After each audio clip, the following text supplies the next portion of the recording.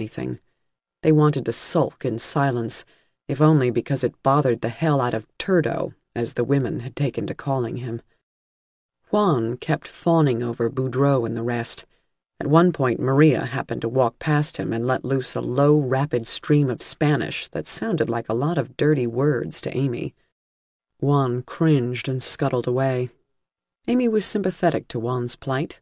He was eligible for the next beating if Jimmy James and Patrick weren't around.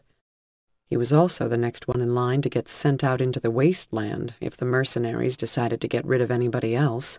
Juan would do anything to avoid that fate. Maybe even join the cause of his captors. As it happened, the next victim was a woman. It began at dawn with the screaming of the usually silent baby. Amy bolted out of the chair she was sleeping in. The baby was at the far end of the dormitory. Amy dashed down the aisle between the bunks and found the child alone in bed, wiggling his little arms and legs, his face a red puckered ring around the screaming toothless mouth. The bedclothes were rumpled and still warm, but his mother was not there.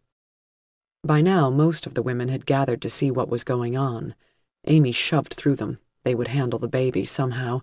She didn't know what to do except offer him a glass of water. She ran out of the room. There was no guard by the exterior door, only an empty chair. Amy tried to think what was happening. The washrooms. She turned on her heels and ran down the stairs toward the aviatrix's room, taking the steps three at a time. The door was jammed shut. Amy shoved hard, shoved again. She could hear chair legs shuddering over the slick floor tiles. She kicked the door and it squeaked open another inch. Now she could get her hand through the gap. She felt the back of a plastic stacking chair wedged under the door handle shook it free, and swung the door open, just as Murdo and Ace came racing down from the men's dormitory, guns in hand, wearing their cargo pants but no shirts or boots. They could all see inside the bathroom. They all saw the same thing. Murdo wasn't going to be able to play this one as a he said, she said, because Cammy was jammed up in the corner by the paper towel dispensers, and he, the flamingo was crushed up against her, one hand twisted down at her groin, the other at her throat. The woman was terrified, the whites showing all the way around her eyes. She looked at Amy and there was pleading on her face, but silent pleading, because the flamingo was choking her silent. Amy didn't make a plan. She simply grabbed the plastic chair, raised it over her left shoulder, and charged. She swung it at the pink-skinned, pink-haired man, her eyes fixed on the back of his neck. I hope I kill him, Amy thought, and an instant later the chair wasn't in her hands. She careened into the man, his hard muscles unyielding, and because the chair was gone, she was off balance and fell. She was back up on her knees within half a second. Flamingo hadn't even turned all the way around. Amy started punching, aiming for his legs, his crotch, anything to stop him. He kicked her away before she landed a single worthwhile blow, and then strong hands were dragging her backward. Ace towed Amy along the floor with one hand twisted into her hair and the other hand shoving his pistol in her face. She could smell the tang of the gun oil. She was spitting with fury, injustice like a cliff towering above her, and she wanted to smash it down. Flamingo, she saw, had turned to Murdo. Murdo was holding the chair he'd pulled out of Amy's hands. There was a crazy daisy sticker on the chair. Flamingo had his back to Cammy, his hands held out to Murdo, shaking his head in a now let's be reasonable kind of way, a bashful little smile on his piebald face. It might have ended there. Boys will be boys, everybody back to your own beds except Cammy's foot appeared from behind Flamingo with the suddenness of a magic trick in the fork between his legs. His trouser legs jumped halfway up his shins. The blow made a noise like a preacher whacking his Bible in mid-sermon. That's for Patrick, you asshole, Cammy shouted. Flamingo went down in slow motion, his neck rigged with tendons like a schooner in a high wind, teeth bared, eyes bulging. Ace let go of Amy's hair. One moment Cammy was there, blazing with life, tall with defiance. The next moment there was a crisp, ear-splitting report that buzzed off the tiles, and the wall behind Cammy was blooming with red roses. Her head snapped back and she fell to the floor, dead. Flamingo lay on his side, clutching his testicles, while the blood flowed out of Cammy in the shape of a monstrous red hand, its fingers crawling along the grout lines, oozing toward the fallen man, as if to avenge its dead. Amy looked away. Jones was leaning against the doorframe, his wounded leg held stiffly at an angle in front of him. His face was sheet-rumpled, his hair awry. He stared at the bloody scene, then spoke to Murdo. Sir? What the fuck is going on? 8. Danny tried to shout, but her voice was gone along with her strength. She didn't want herself or Liz Magnusson to die at the teeth of the undead wolf pack that was encircling them. Her mind was still tumbling around from the crack on the head she'd received. Magnusson, oblivious to the approaching danger, continued to curse out loud. She put two shots from her Luger into one of the sluggish undead by the MRAP that Danny's grenade hadn't blown apart. The others were motionless, or struggling with shattered limbs, unable to attack. Danny croaked, then tried again. It sounded more like the zombie moan than anything else. She tried to wave her hands. One of them lifted up a few inches, then fell back. She turned her protesting neck to follow how far the hunter Zeros had gotten in their careful stalking of their live prey. There was one eight feet away from Danny. It was so close she could hear the rustle of its scabby tongue behind yellow teeth. The thing was looking directly at her with frost-dimmed eyes.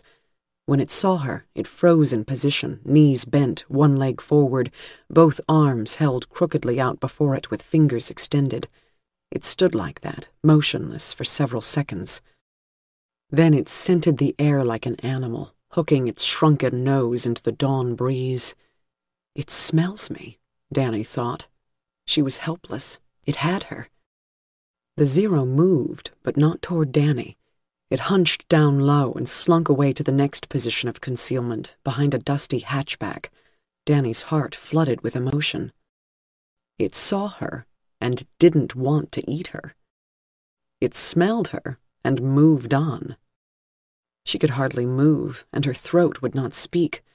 An evil thought came to her. If the thing didn't attack, she must already be one of them. Yet she felt pain, not hunger. She felt fear for the living woman who was now up the ladder of the MRAP, shouting her disgust at the stench inside the cab. Get in and shut the door, you stupid bitch, Danny screamed inside herself. She tried to make the words come out, but her vocal cords were unstrung and she could only gasp, sucking in a throatful of putrid gas. Then Danny understood why she herself was still alive. She was soaked in the sludge of the far-rotten soldier's corpse. She stank so powerfully it would make a graveyard rat puke. On her, the zombie couldn't smell the living breath, the warmth of her blood. It could only smell its own decaying kind. Danny bent her eyes toward the Cougar MRAP. Magnusson didn't get into the cab, having discovered the same unbearable filth that had knocked Danny back. Instead, she waved her hands around to clear the flies from her face and started searching the pavement for something, maybe a rag to wipe up the rotten guts on the front seat. She kept an eye on the nearest of the shuffling, slow zeros that were making their way toward her, but Danny had cleared a considerable radius with the explosion. Magnusson thought she had plenty of time. What Magnusson was not anticipating because you wouldn't fucking listen, shouted the voice inside Danny's head, was the stealthy approach of undead with fast reflexes, hunting instincts, and the ability to use concealment to get close to their prey. Several others of the stalking pack had moved within twenty feet of the cougar. Magnusson had something less than fifteen seconds to get inside that vehicle and slam the door. If she did, she was safe as houses, she was surrounded by inch-thick steel plate, triple bulletproof glass, and a variety of armaments and survival gear.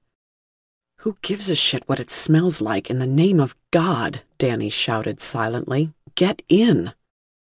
Danny tried again to wave her companion away, to get her attention. and this time she was able to lift both hands. Life was returning to her limbs. She wasn't dead. Her body was only rebooting.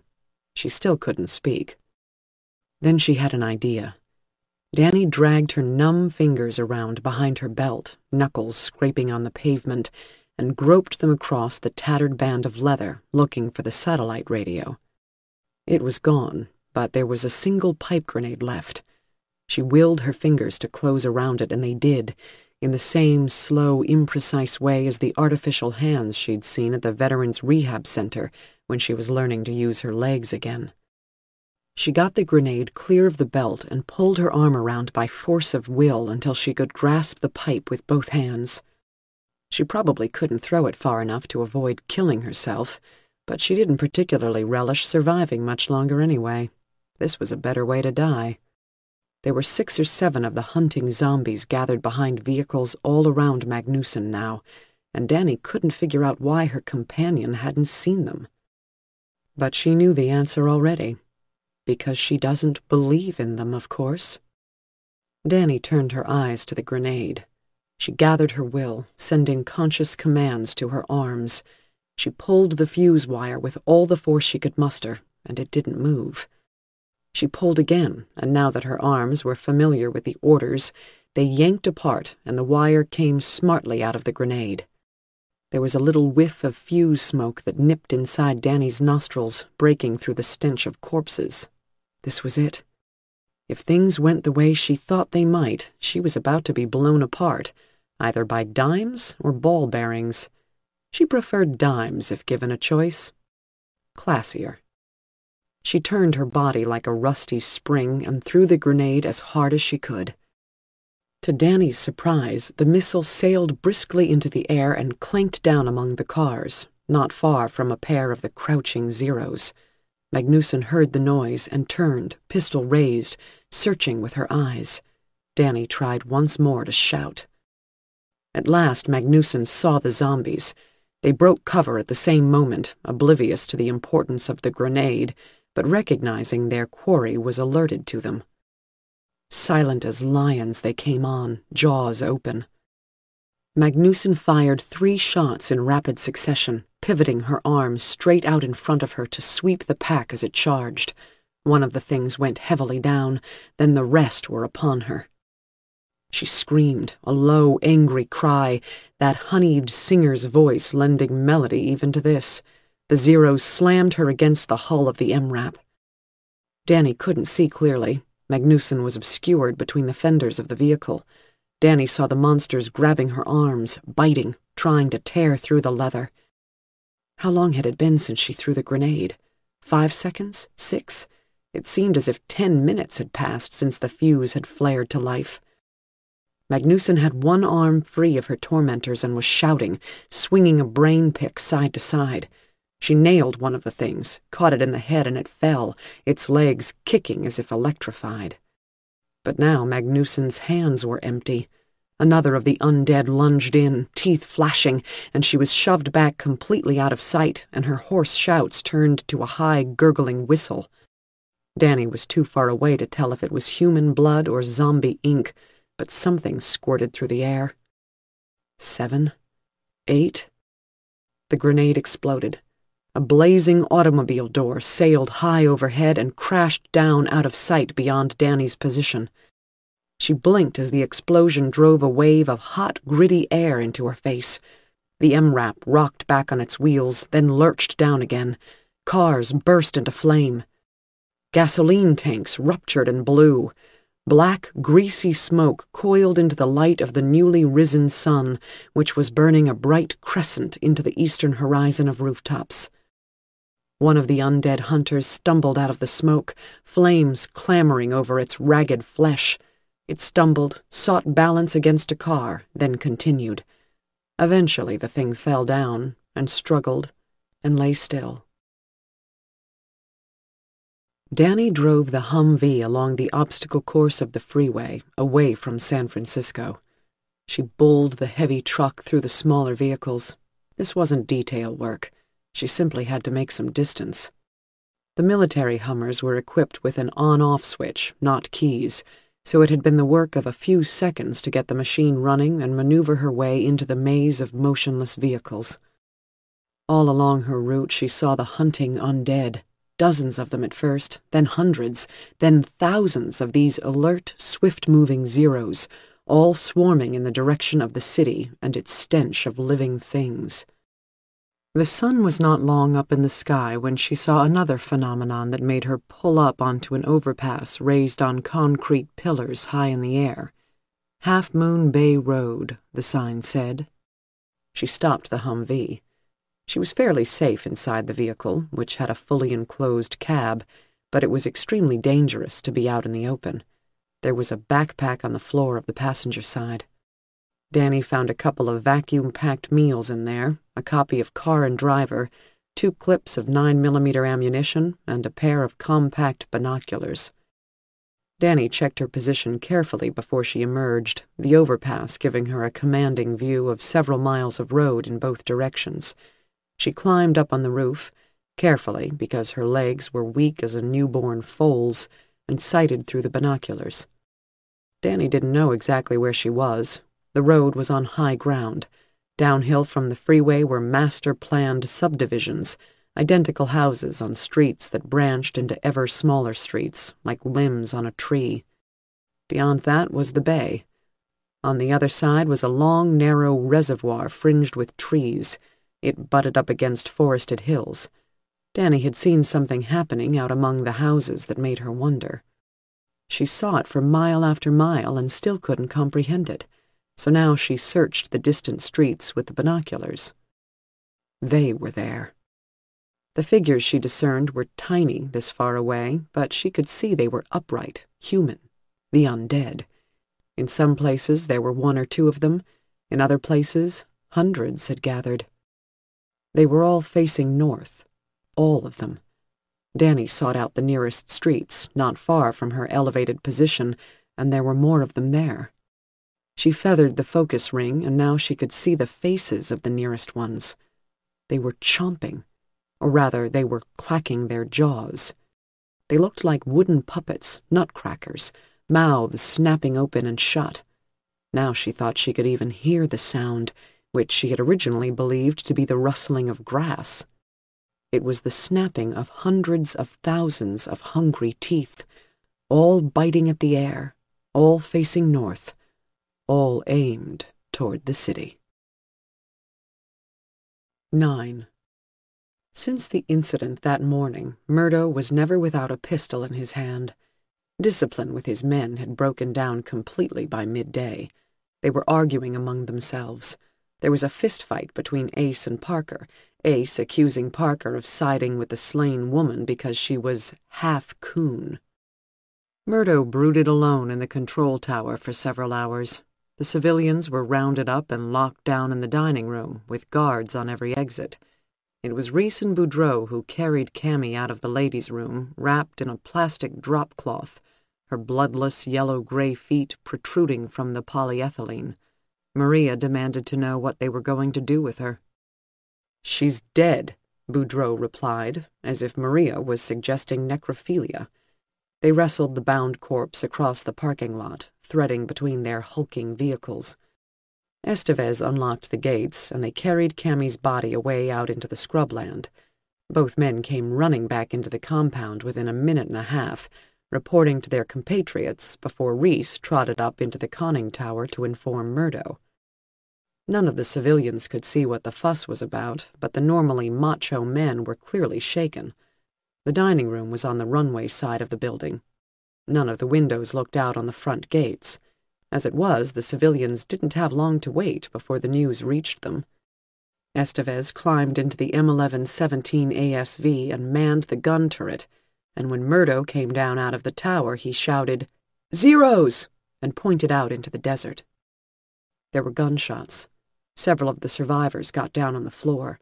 Pfeiffer posted a lookout by the window. They're shooting outside the fence, she said. Minutes later, the mercenaries came back in, this time with Murdo among them, chest out, head thrown back. They had their old swagger back, as if they'd been out hunting bear.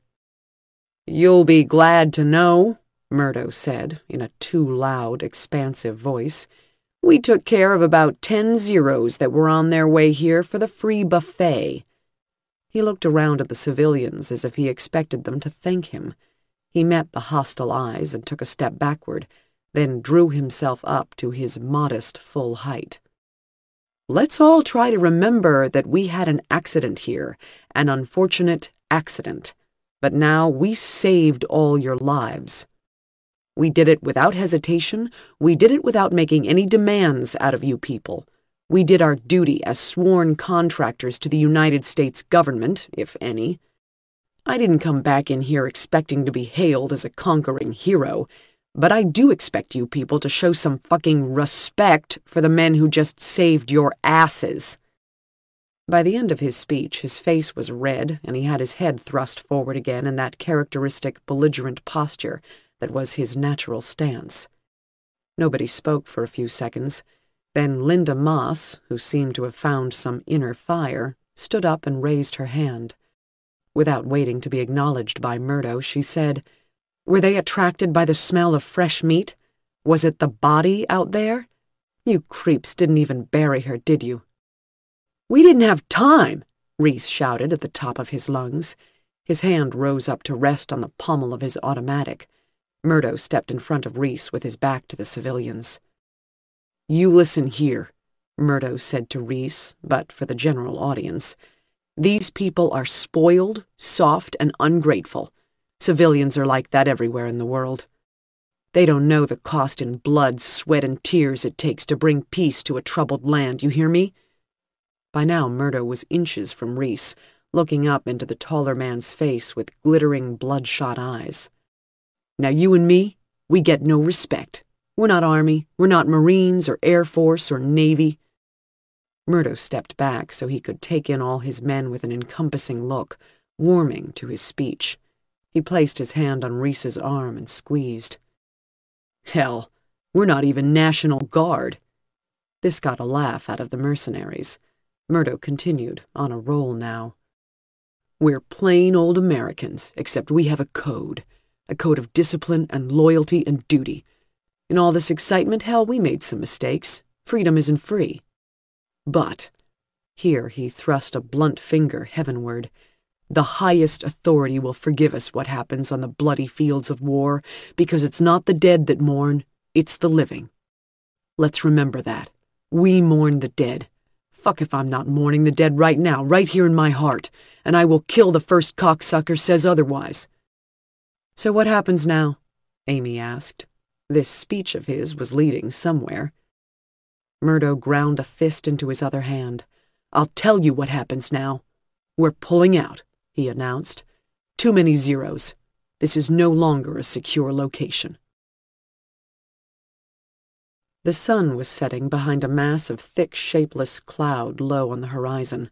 The sky was shot through with faded purple and scratches of bright orange, as the light drowned and the world fell into darkness. Supplies had been hurried into vehicles over the course of the afternoon, with most of the edible stuff going into the ASV and the back of a Humvee controlled by the Hawkstone men. As a concession, some food was left in the RV so the civilians could eat on the road. Toilet paper, batteries, and the first aid materials, whatever occurred to people, were piled up around Patrick's bed in the motorhome. The urgency of the situation wasn't clear to anybody but Murdo. Amy thought he must be going stir-crazy, and this was his way of dealing with it. There were undead out there in growing numbers, but she thought the living were safer at the airfield, at least until morning. Who knew what would happen out there in the dark? But she kept her own counsel and did what she was told to do, like everyone else. Once the vehicles were loaded to Murdo's satisfaction, the survivors were marched double-time to the White Whale. Murdo ordered them to halt at the door. You and you, he said, indicating Reese and Estevez. Throw the fag out. Put him over there. Amy surprised herself by shouting, as loudly as she could, No, he's not even conscious. Murdo turned to her with his eyes strangely blank. I don't give a sideways fuck what he is. I'm not having another wounded on this bus. Jones is all we can handle. Reese, Estevez, do it. At least, Amy said, her voice quaking. Bring him inside the building. Reese and Estevez muscled the unconscious body into the terminal. They were going to dump Patrick on the floor a foot inside the front door, but Amy barked, Upstairs! And rather than argue, they carried him up the steps and tossed him on a bed in the men's dormitory. Amy tried to arrange Patrick's limbs in a restful pose, then threw a blanket over him. Okay, Reese said when Amy didn't move from Patrick's bedside. Let's go. What the fuck, man? Estevez said, looking to Reese. Let's get the fuck out of here. Let's go, Reese repeated to Amy. Come on, man, we ain't got a whole shitload of time. Estevez slapped Reese on the arm. Reese turned on Estevez. She's the fucking doctor, man. We gotta take the doctor with us. She don't need to stay here nursing Boy George. Amy had an inspiration, beautiful in its simplicity. I'm not a doctor, she said. I'm a veterinarian. That got them. Bullshit, Estevez said. You sewed up Jones. Same as a dog, except taller, Amy said. Serious? Reese asked. I'm a horse doctor, Amy said. The men looked confused. Reese pointed in the direction of the parking lot. Go tell Murdo, he said to Estevez. Maybe she ain't shit. She was an animal doctor, nothing more. Murdo was embarrassed, and that made him angry. The refugees in the motorhome had gotten a huge laugh out of it. Murdo couldn't believe they were laughing at him, of all people, who held their lives in his hand. Like that cocksucker who threw the shoes at the president a while back, and everybody thought he was a hero. So what if Jones got doctored by an animal expert? It was all meat, right? But Murdo still felt the blush flaring away in his face. Maybe he should shoot the bitch, teach them a lesson. But he had a feeling if there was one more act of violence like that, these people would no longer come along easily. Tell you what, Murdo said to Estevez, we're going to leave her here like she wants. But on our way out, we're going to chain the gates to the ASV, rip 'em off the hinges, and drag 'em a mile down the road. Then let's see if the lady veterinarian thinks it's so funny when all the zeros come pouring in looking for chow. What do you say? I say hells to the yeah, Estevez replied. So the engines were fired up on the M1117 armored security vehicle and the two Humvees. Ace piloted one of the Humvees around in a broad circle until it was up behind the White Whale, which was the only civilian vehicle they were taking. Reese got back in beside Malini in the cab of the motorhome. Murdo was in the ASV because he was the boss. Parker was at the controls. Jones was laid out in the back of the second Humvee. It took Flamingo five minutes to get down the terminal stairs. His testicles were so sore. Boudreaux shot a couple of nearby zeros, unlocked the big gates, and swung them open. He had 30 feet of chain ready to attach the gates to the ASV when the time came. The next nearest undead were probably five minutes out in the desert, maybe less. The convoy was ready to go as soon as Flamingo quit fucking around. He was trying to urinate against the side of Hangar 1. What the fuck, asshole? Murdo said, climbing down out of the ASV. I can't piss, Flamingo said. It feels like I gotta go, but I can't. She busted my dick. You got ten seconds to stow your junk, Flamingo, then we roll. The night was swallowing up the world, cold and dark. There was a wind rising. Murdo thought he could hear the moaning of the Zeros out there in the dark, barren country. Then he thought he could hear an engine. Murdo turned to face the road, and Boudreaux was watching as well. There were headlights bouncing along out there in the distance. Coming down the road for the airfield. The vehicle couldn't have been headed anywhere else because there was nowhere else.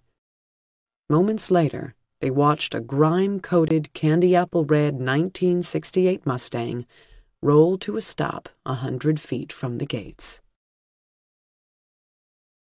10. Danny's ass was sore. So was everything else. But she was relieved to be back on the road to Boscombe Field. The return trip to the Mustang had been problem-free, but she was troubled by the thought of what was happening back in San Francisco. They might not have attacked yet, but those Zeros with their canine intelligence and their silent, crouching stealth were going to overrun the defenses. There was no question. The urban core was surrounded by a perimeter of wire and rubble and cars. This barricade was designed to keep out rotting, two-legged things as stupid and single-minded as sharks. These new ones were cunning. They could work together in packs. They were exponentially faster and smarter than the ones Danny had encountered in the hotel in Potter, and there were hundreds of thousands of them. She was afraid to speculate on how much further the living dead would evolve before the virus that animated them decided it was finished improving its kill ratio. Would the Zeros someday be able to communicate? Use weapons? If that happened, the living would be destroyed. To confront an opponent that could think but felt no pain, no fear, and was incapable of mercy, that meant extinction. Danny decided to ditch the Humvee in favor of the Mustang. She had all kinds of reasons for this, but the truth was she couldn't leave the Mustang behind. It represented everything the last vestige of Kelly's trail, the last vestige of Danny's attempts at a real life. And it was such a sweet ride. Danny didn't have a lot of pleasures left. The 302 V8 might be the last of them. That and the bourbon. Danny allowed herself a few pulls on a fresh fifth, but didn't drink herself stupid the way she had on the road north. She was on her way back to known things now, and there was refuge in it. She wouldn't need the bottle for company, merely the occasional sip, enough to take the edge off the pain that a handful of Vicodin couldn't get to. Danny took a few more chances before she lit out again. She was there at the seaside where she'd left the Mustang, it was exactly as she had left it, some days before. The coast was deserted. Climbing into her beloved vehicle wearing such stinking, filth-saturated clothing seemed blasphemous. She wondered if Zeros could swim. The beach was empty, and the nearby marina, and the motel, the boatyard, and all the little houses. She had swept the area for Zeros previously, and none seemed to have wandered in since. She had never been so alone. The water would be cruelly cold. But you only live once, she thought. If you're lucky, the voice said.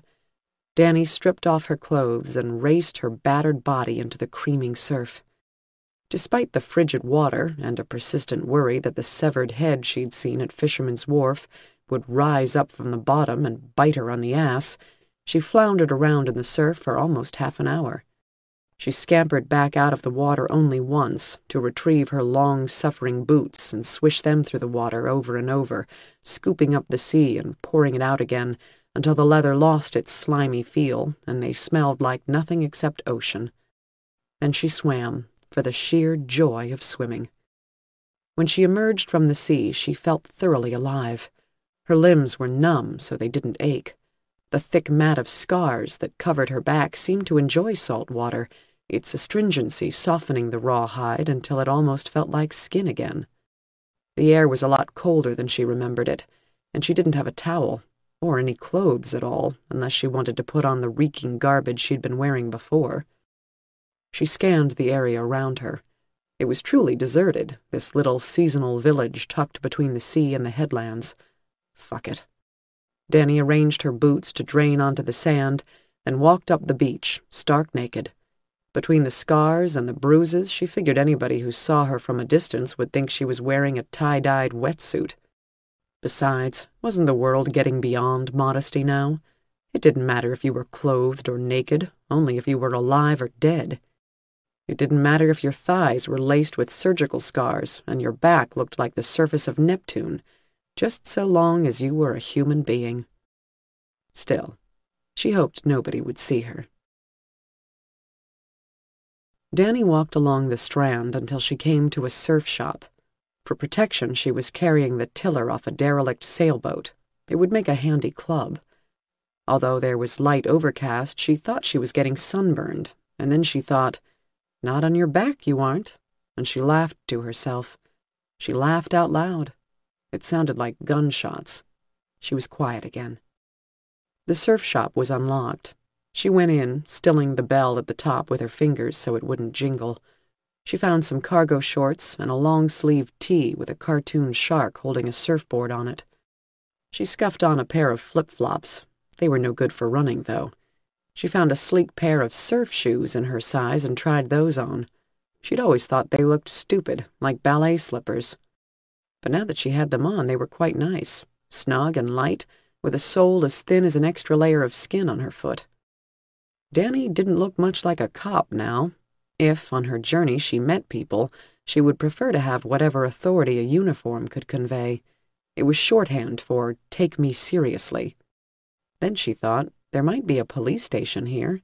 Summer cops for when the crowds showed up to go boating and lie in the sun. Anyway, she didn't fancy running into any of the agile zombies in her current costume. She hadn't had to fight in slippers before. Danny made her way down the lone street in town, past the shuttered-up beachwear shops, the art gallery with its driftwood sculptures and whale paintings, never to be admired again. There was a real estate agency with the usual for sale sign on the door. She found what she was looking for without encountering anything that moved, except a seagull that watched her from atop a telephone pole. Her objective was a tiny building of concrete blocks. One door, one window, garage on the side. She said a silent prayer for forgiveness and lobbed a rock through the window of the Madras Bay Police and Beach Safety Department. Half an hour later, she was gunning the Mustang up the hill out of town, attired in a fresh tan uniform. The arm patches said only police. It was cut to fit a man, and the pants were three inches too long. But Danny tucked the cuffs into her soggy boots and looked enough like a cop so she could almost imagine she had her dignity back. She buckled on her heavy police belt and pistol. Better yet, all that remained was to tuck Kelly's letter, secure in a plastic sandwich bag, into her breast pocket. Danny buttoned it up. As she drove back to the highway, Danny thought of the scene she'd observed from the overpass outside the city. Thousands of Zeros, jaws working in concert with each other, like the realization of some shared instinct, something locked up since before mankind stood on its hind legs, possibly so ancient it came from a time before animals walked at all. Why did the undead chomp the air like that? The sight of so many monsters clacking their sinewy jaws together reminded Danny of armies on a medieval battlefield, beating their shields with their spears as they marched to the slaughter. The Zeros might have been anticipating the kill, tearing at warm throats in what was left of their imaginations. But those things couldn't imagine, could they? Danny rejected the idea. They couldn't create or build or grow. They were only capable of destruction, however clever they became. So it must have been those things in their thousands were warming up for the kill, nothing more. How many of them would taste fresh meat? How many would rot away of hunger because there were no more living things to destroy? Danny was driving toward the sunset. She was worried now. She hadn't been able to contact Boscombe Field by the police radio in her glove box.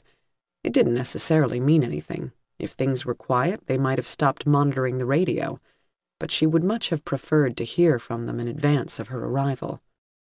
There was a massive bank of clouds on the horizon, stealing the sun away before its time. She turned off onto Ore Creek Highway, and her pulse picked up a little. She was avoiding thoughts of Amy and Patrick and the rest, Topper and Ernie, Maria on the radio, Troy Huppert, the city fireman. They might all be dead, overrun by the undead while she was gone, but she didn't think so. Behind that fence with supplies and soft beds, and so far from major human settlements, they should be fine. They'd be pissed off at her, of course, and she would have to act contrite, but they'd get over it. It hadn't been that long since Danny left. What could possibly have gone wrong? A few miles of blacktop, the night coming down like an opera curtain. By the fading light, she saw Zeros wandering in the desert. They were going the same way she was. The flat desert floor seemed to have become a kind of caravan route for the things.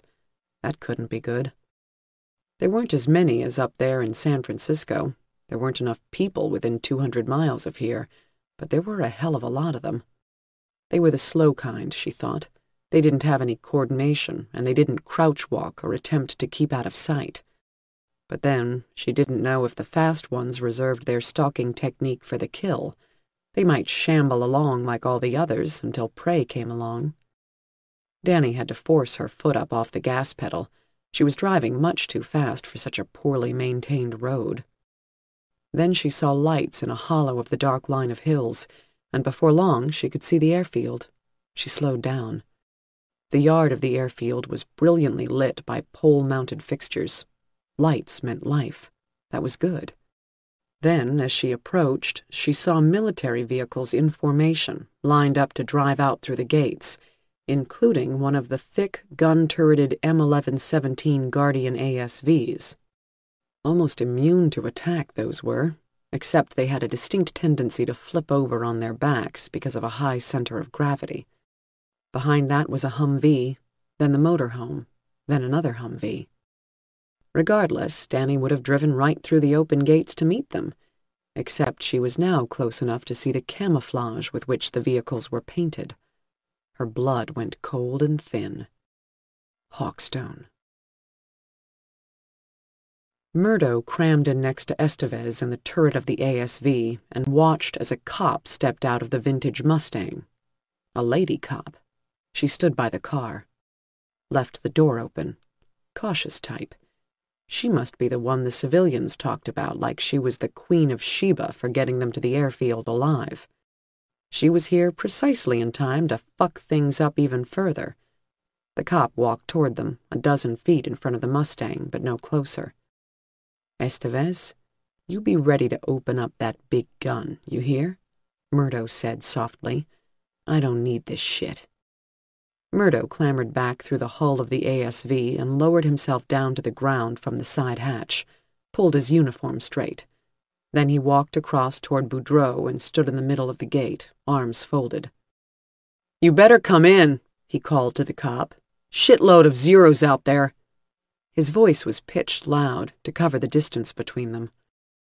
I saw them, the cop replied, in a big voice accustomed to authority. I'd like to speak to someone there. I'm the one in charge, Murdo said. What he didn't know was what to do next. The cop had no authority in this time of privatized martial law. He could kill her on the spot. He probably would. But he wanted to make sure she hadn't come from headquarters with fresh news. Could be the rest of the world was already on the rebound, and they were sitting in the desert kicking each other in the nuts for no good reason. I'm looking for Amy Cutter. She's a doctor, Danny said. The short, thick man spat on the ground. The tall man with the prize-fighter's face shook his head. She had definitely stepped in something. Danny was mortally afraid for Amy. She realized she had pinned the hopes she'd lost of ever seeing Kelly again on seeing Amy again instead, which was not very smart. Hope didn't get you through. The short man spoke again after thinking a while. You mean the veterinarian? She left. She was here, but she left. We're relocating to command headquarters, so you need to get out of our way. Danny couldn't see the motorhome clearly, shielded as it was by the blaze of the brilliant headlamps of the ASV. But she didn't recognize whoever was sitting in the driver's seat. She thought she might be making a very serious mistake standing out here in the open. There was a man on the 20 millimeter cannon in the turret of the security vehicle, and these others were armed as well. There was a big 50 on the roof of the foremost Humvee. Also, Danny could hear the moaning. There were undead moving through the dark brush all around her. They would be changing course, heading in her direction. This was going to have to be a short conversation one way or the other. She tried again, guessing where headquarters would be for this man. I was just in San Francisco, she said. It's gone. Bullshit, he said, but Danny could tell he was rattled. The zombies, the zeros, are getting faster, she added. You're a world-class bullshitter, the man said. Danny didn't feel like pursuing that line of discussion. Look, mister, she said, if Amy Cutter left, where is everybody else? They in the whale? The whale? The man was looking at his comrade now. They were whispering. The motorhome there, Danny amended. You're taking it. I'd like to see who's inside. They all left, Murdo said. I'm Sheriff Adelman. Who are you? Squad Leader Murdo, Hawkstone Security. So, Murdo, Danny said, pronouncing his name like it was stuck to her boot. What I want to know is this. Under what authority have you taken control of this location? What have you done with the civilians? We're on American soil. These are American citizens. They got some rights, and you got some restrictions. Posse comitatus and shit. Murdo shook his head. The entire fucking nation is under martial law, Sheriff. Section 1076. Posse comitatus is suspended. Don't blow smoke up my ass, Danny said, anger giving her voice wings. She wanted to go right up there and get eyeball to eyeball with this prick, maybe even shoot him. That crap was repealed in 08. I know the law. You don't know shit. Murdo scuffed the ground with his toe, then laughed. It sounded like an effort. I'm going to give you count of ten to decide whether you're coming or going, okay? We're on a timetable. He pantomime tapped his watch. Then he whispered something to the gunner in the turret of the ASV. The gunner nodded and hunched over his weapon. Danny knew the posture well. He was braced to open fire. At that moment, the terminal door banged open and Amy came hammering out of the building, shouting and waving her arms. Danny's heart squeezed halfway up her throat. Amy was alive. She was right there, and these bug fuckers were in the way. Danny, go! Go, go, go! Amy shouted, and now one of the uniformed men was running at her from the Humvee, and Amy was down on the ground. Fury burst inside Danny's head. Her friend was being attacked, and she couldn't do anything about it. In fact, she needed to retreat now. That upgraded 20 millimeter cannon would blow her apart like a dog food balloon. She'd seen it in the war. A single round could pass through Danny, the Mustang's engine block, and the rest of the vehicle, yet still have enough power left to punch a two-foot pothole in the road. She was already throwing herself into the Mustang when the big gun opened up and the world around her turned to hell. She'd kept the Mustang idling and the door open. The first burst from the 20 millimeter cannon went high.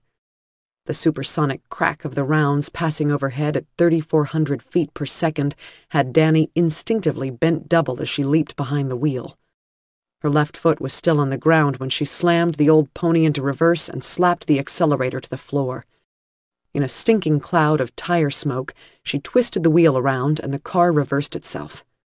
The rear window and the windshield simultaneously exploded, and the driver's side door, which was still swinging open, let out a deafening bang as one of the 20 millimeter rounds whacked through it. The window glass turned to snow. Danny braced herself with her left hand on the windshield pillar to keep from being thrown out of the car as she bashed the shifter forward.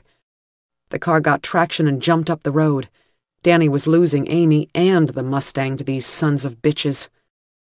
She yanked the steering wheel left and right, fishtailing the car even as it accelerated to break up the gunner's aim. The road ahead of her leaped into the glow of the headlights as if struck by a tornado, the heavy gun blowing the pavement apart. She pulled the wheel over and drove the Mustang off the road into the brush. It was never going to be the same car again, but this was no time to worry about the paint job. It had been eight seconds since the first burst of cannon fire, and Danny was still alive.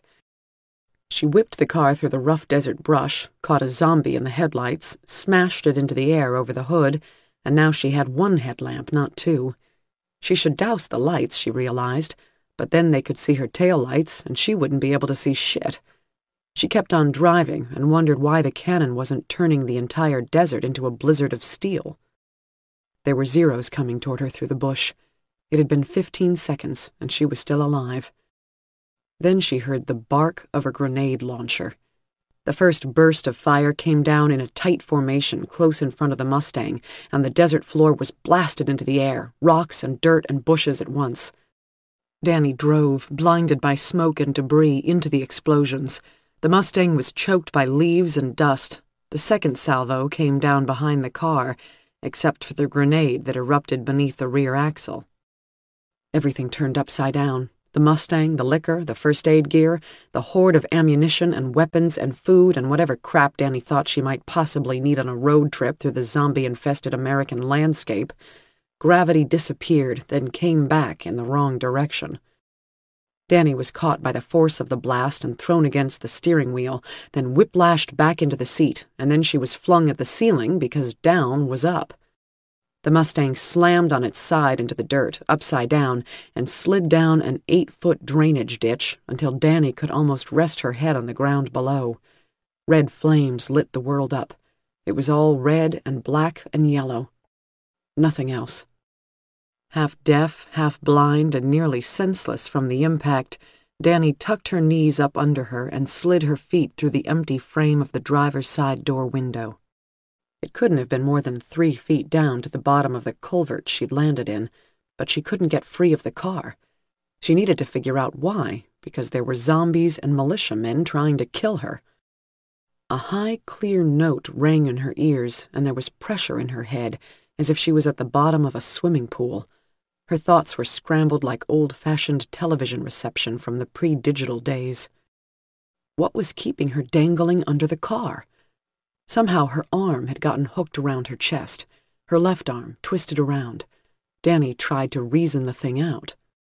Something else exploded nearby, but she wasn't concerned about that. She attempted to get her arm free of the obstruction. No go. So she used her right hand to feel out what the problem might be, and now she understood. She had been holding the A-pillar, the one that rose up from the hood to roof and held the windshield in. The door had been open then, banging on her knuckles.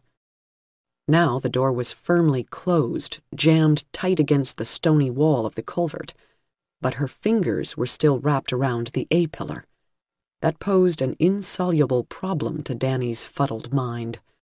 The Mustang had become like a great big rat trap, and Danny was trapped in it. She smelled gasoline. She loved the smell of gasoline on a man, but not the smell of gasoline running out of the Mustang especially as the car was on fire. The threat of fire, combined with the stink of gas, cleared Danny's head enough so she could panic. Things couldn't get much worse. She needed to pry the door open and release her crushed fingers, which she expected was going to hurt like a motherfucker. Otherwise, she was going to be burned alive, which was the thing she feared most. So Danny groped around her for something to get the door open with. There were tools on her belt, nothing that would fit in the gap of the door, unless the barrel of her revolver. She pulled the weapon from the holster. Pain was beginning to converge on her shoulder where her weight hung awkwardly on the trapped arm. She strained to get one knee on the window frame of the door and the other foot on the ground. Now she had a little leverage. She got the barrel of the gun into the rumpled gap between door and roof. She pried at it with all her weight. The gun was coming apart. She was bending the frame around the cylinder. The door shifted slightly. She could flex her fingers. Then the Mustang settled another half inch, and Danny saw the gap tighten on her hand. The skin of her left index finger split open like a frying sausage. She needed to make a plan come together fast, or she was definitely going to die. Danny tried prying the door open again. Now the barrel of the gun wouldn't even fit into the gap. The space was half the width of her fingers. She heard herself whimpering and made it stop. Now she could hear the moaning out in the darkness. Danny lowered her head down below the roof of the Mustang so she could see along the length of the culvert, lit by burning creosote bushes and fragrant mesquite. Two Zeros were lurching in her direction, bent silhouettes in the leaping firelight. She couldn't come up with a plan.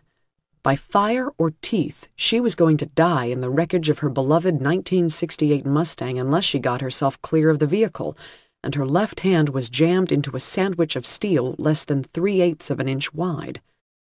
Danny knew what she needed to do. All the bright hope inside her was still there, but she couldn't use it for anything. Some day everybody had to die, and this was her day.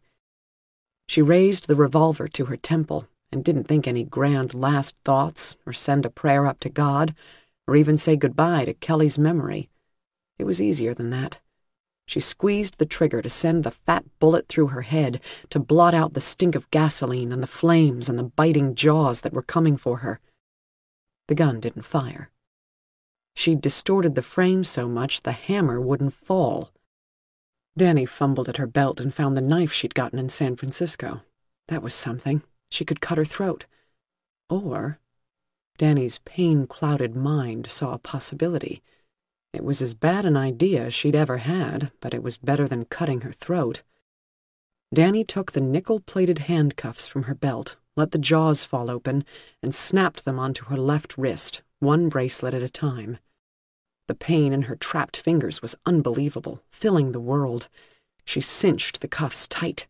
They ratcheted down until the bracelets sank into the skin of her arm. Still, she squeezed them until the flesh wouldn't compress anymore, and she was working against the density of her own wrist bones. That would have to do. She could feel the pulse hammering in her arm against this obstacle, these constricting bands of steel. Good. Danny reached down with her good hand and drew out the knife. The nearest zombie was twenty yards away at most. There were several more behind it, lurching down the ditch toward the fire. The smoke from burning tires and gasoline was choking her. It didn't seem as if the gas tank was going to explode. It was going to burn itself out, which could take all night roasting her, but meanwhile, flaming gasoline was streaming down the rear frame of the car, spattering in bright, flaring droplets into the boiling pool of motor oil collected near Danny's foot. The heat was intense. There was a rhythmic thumping in her ears, like a helicopter passing overhead. It was her own heartbeat. Danny raised the blade of the knife, a good sharp edge four inches long with a few serrations down by the hilt. It was a tight space, but she was able to get the blade in close to where her fingers were crushed against the frame of the Mustang. She held her breath, thrust the knife into the gap. Blood spilled out despite the handcuffs, and a wire of white-hot agony snapped across Danny's brain. She dropped the knife. It bounced to the ground and skittered away under the roof of the car. Danny couldn't reach it. Her heart contracted to a pinpoint. She had nothing left to free herself from the coffin the Mustang had become. Teeth. Danny grasped her handcuffed wrist and stretched the flesh back as far as she could. She maneuvered her jaws until her teeth were jammed against the frame of the Mustang. Her knuckle, salty with blood, was between her lips. Danny thrust her head forward and bit down. The pain was so much bigger than her hand, crushed into its outline with punishing force. She jammed her teeth into her flesh with strength renewed by fear, and the skin broke. Blood flowed. There was meat under there, rubbery cables, then the hard joint. She worked her teeth between the two bones that made up her knuckle. They fit together so closely. There was a pop when she forced them apart. She chewed until she was choking in her own blood, the pain making her writhe. At last, the finger snapped away from her hand. The zombies were so close, moaning with hunger, but they hadn't reached her yet. Danny got through three of her fingers before she was released from the Mustang. She fell to the dirt floor of the ditch and tucked her mutilated limb up against her chest. The sole of her boot was on fire. She crawled away from the blazing motor oil and hunched herself along, but the Zeros were there. So after all that, she was going to get torn apart anyway. She struggled to her feet. The boot, at least, wasn't burning anymore. There was a transcendental giddiness in her now, all the pain and terror like vast electrified wings that could bear her away. The Zero was there. It reached out to her, almost in welcome, its mouth open, teeth exposed. She could see the firelight reflecting off the back of its mottled throat. And then its head blew clean off its shoulders. A comical little spurt of black blood popped up from the ragged meat of its neck, and the thing collapsed. Then a great dark shape leaped down from the upper world above the culvert, a shaggy, ugly thing with a wild, broken face. Danny did the only thing left. She blacked out. Part 4 Heaven 1 Amy got her butt kicked. There was no question about that. It was almost worth it, the way Danny hightailed it like a jackrabbit back to that beautiful old stupid Mustang of hers. Danny did a fancy dive into the car, and it was moving before she was even all the way in. Then the guy with the face tattoos was shooting at Danny with his huge tank gun, buck, buck, buck, buck, buck. Danny got the car spun all the way around back to front and hit the gas. Amy could hear people shouting inside the motorhome. Then Reese was pounding Amy silly, and she couldn't really look anymore because she was taking a severe beating. Reese stopped hitting her in order to watch the shooting. Murdo was screaming in a high-pitched voice and jumping up and down, waving his fists. The flame from the huge cannon leaped ten feet from the barrel. The lights of the Mustang turned from crisp outlines into dim glows as the landscape blew up around it. Amy could hear metallic hammering noises and assumed that Danny was getting blown to pieces.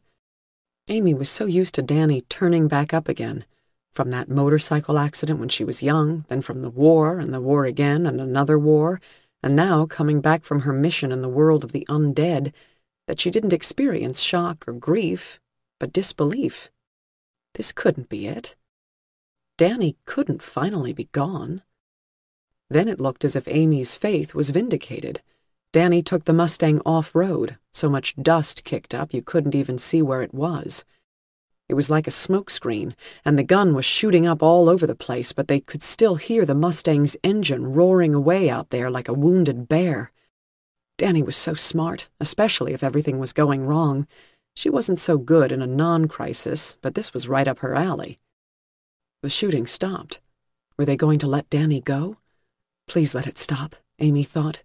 You have no idea what she's been through. Then there was a ching-thud, ching-thud sound, two bursts of ten repetitions each, and a long moment later, the desert blew up. They were shooting bombs at Danny. There was an explosion, and Amy saw the shape of the Mustang flip end over end, silhouetted against the halo of fire, and then it dropped into the flames and smoke and dirt, and that was that. Reese kicked Amy one more time, spat on her, and walked away, whooping with triumph. Murdo himself was hollering victory, clapping. Boudreaux stood there watching the fires out in the desert, framed squarely in the gateway to the airfield. His posture was one of satisfaction, like a weary man admiring the snug house he had just finished building. Amy felt real hatred for these men. Hate and rage weren't things she understood, but they had roosted inside her, and she was going to have to deal with them. They wanted her to hurt and kill, to get revenge. That's all the world had in it. Amy rejected these things, but the feeling, the black rage burned on, like the fires in the desert that marked Danny's grave. Murdo clapped Boudreaux on the shoulder as he walked toward the ASV. Boudreaux rocked his fist in the air. They were yelling many things to each other. Apparently, they were the winners. Then, Boudreaux's ear blew off, and he lurched backward and fell to the ground, dead, his skull emptied out by a high-velocity round. A second later, they heard the gunshot. Murdo threw himself into the dirt, covered in blood and brains, and crawled under the ASV. Two more shots snapped through the night, but nobody else was hit. Reese sprinted inside the terminal building.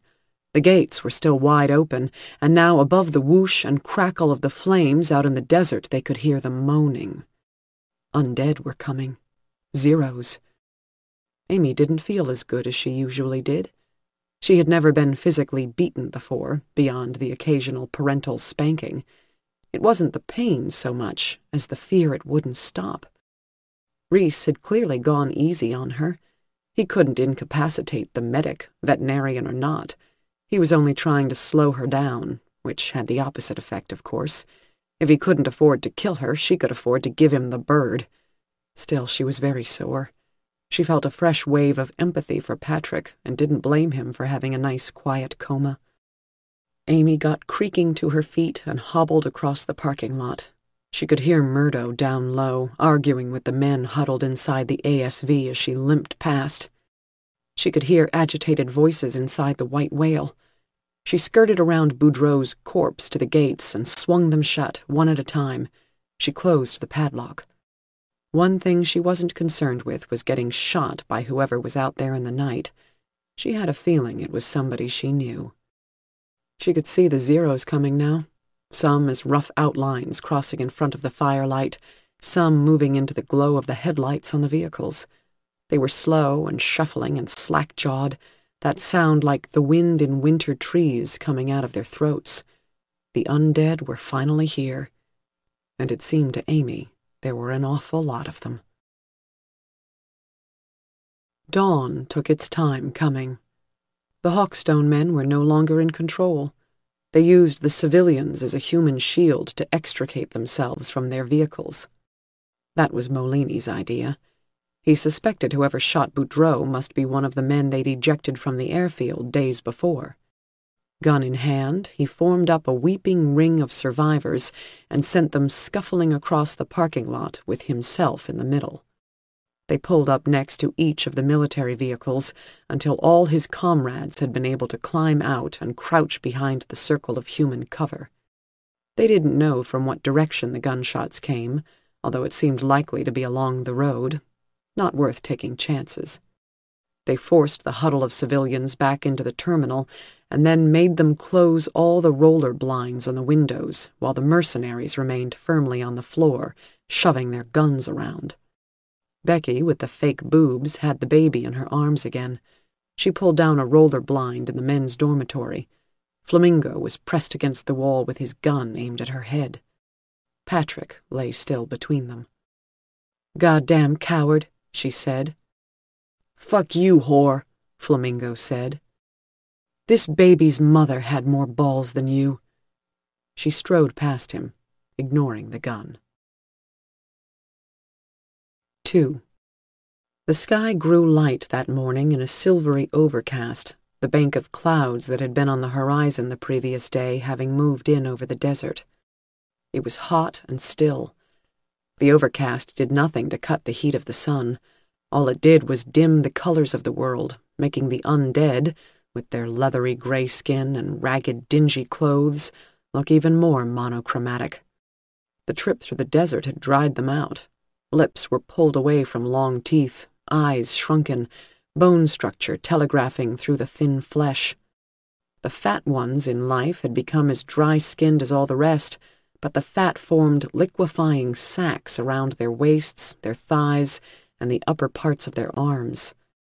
These dangled and swung like the infected udders of cows, leaking serum. The weight of this putrefying flesh dragged the loose skin in folds from their necks, their heads, giving them something of the look of droop-eyed hounds, their mouths pulled down in a caricature of a frown. The ones that had been slender in life were now angular stick insects, skeletons bound in hide, moving with difficulty as their tendons shrank and stiffened. Around 6.30, once the light was full, a bulky figure in the hawkstone camouflage stepped out of the terminal. He looked around, his body poised for flight. Then he walked toward the corpse of Boudreaux, unwilling, his steps as halting as if he were crossing a minefield. He made it to the body. The moaning of the undead went up loud and urgent. They could smell him. They wanted him. The chain link of the fence and gates bellied outward with the mass of the things. They wrung the wire with their fingers, clawing to get in. The man took hold of the corpse's sleeve and started pulling it across the parking lot. The corpse was heavy, heavier than the man dragging it toward the terminal building. He stopped halfway across to wipe the sweat off his face with his sleeve, taking the opportunity to scan his surroundings. Then he turned back to the task. He got the body another yard toward the terminal before a spray of blood leaped out of his chest and he fell across the corpse, his boots clawing at the pavement until he bled to death and went limp. The report of the rifle followed the impact by almost a second. Inside the terminal, Murdo cursed and punched the wall, leaving a row of dimples where his knuckles hit the plasterboard. For a while it looked like Juan, the fat Mexican, was going to make it. They had dressed him up in Jones's uniform, which didn't fit him very well, but looked convincing enough from the kind of distance a sniper would be dealing with. Then they forced the blubbering, shiny-faced man out the door at gunpoint. He could go out there where it was a 50-50 chance he'd get shot, or he could stay in here where the chance was 100%. All the way to Boudreaux's body, Juan looked like he was still deciding which option suited him best. Then he seemed to gather courage.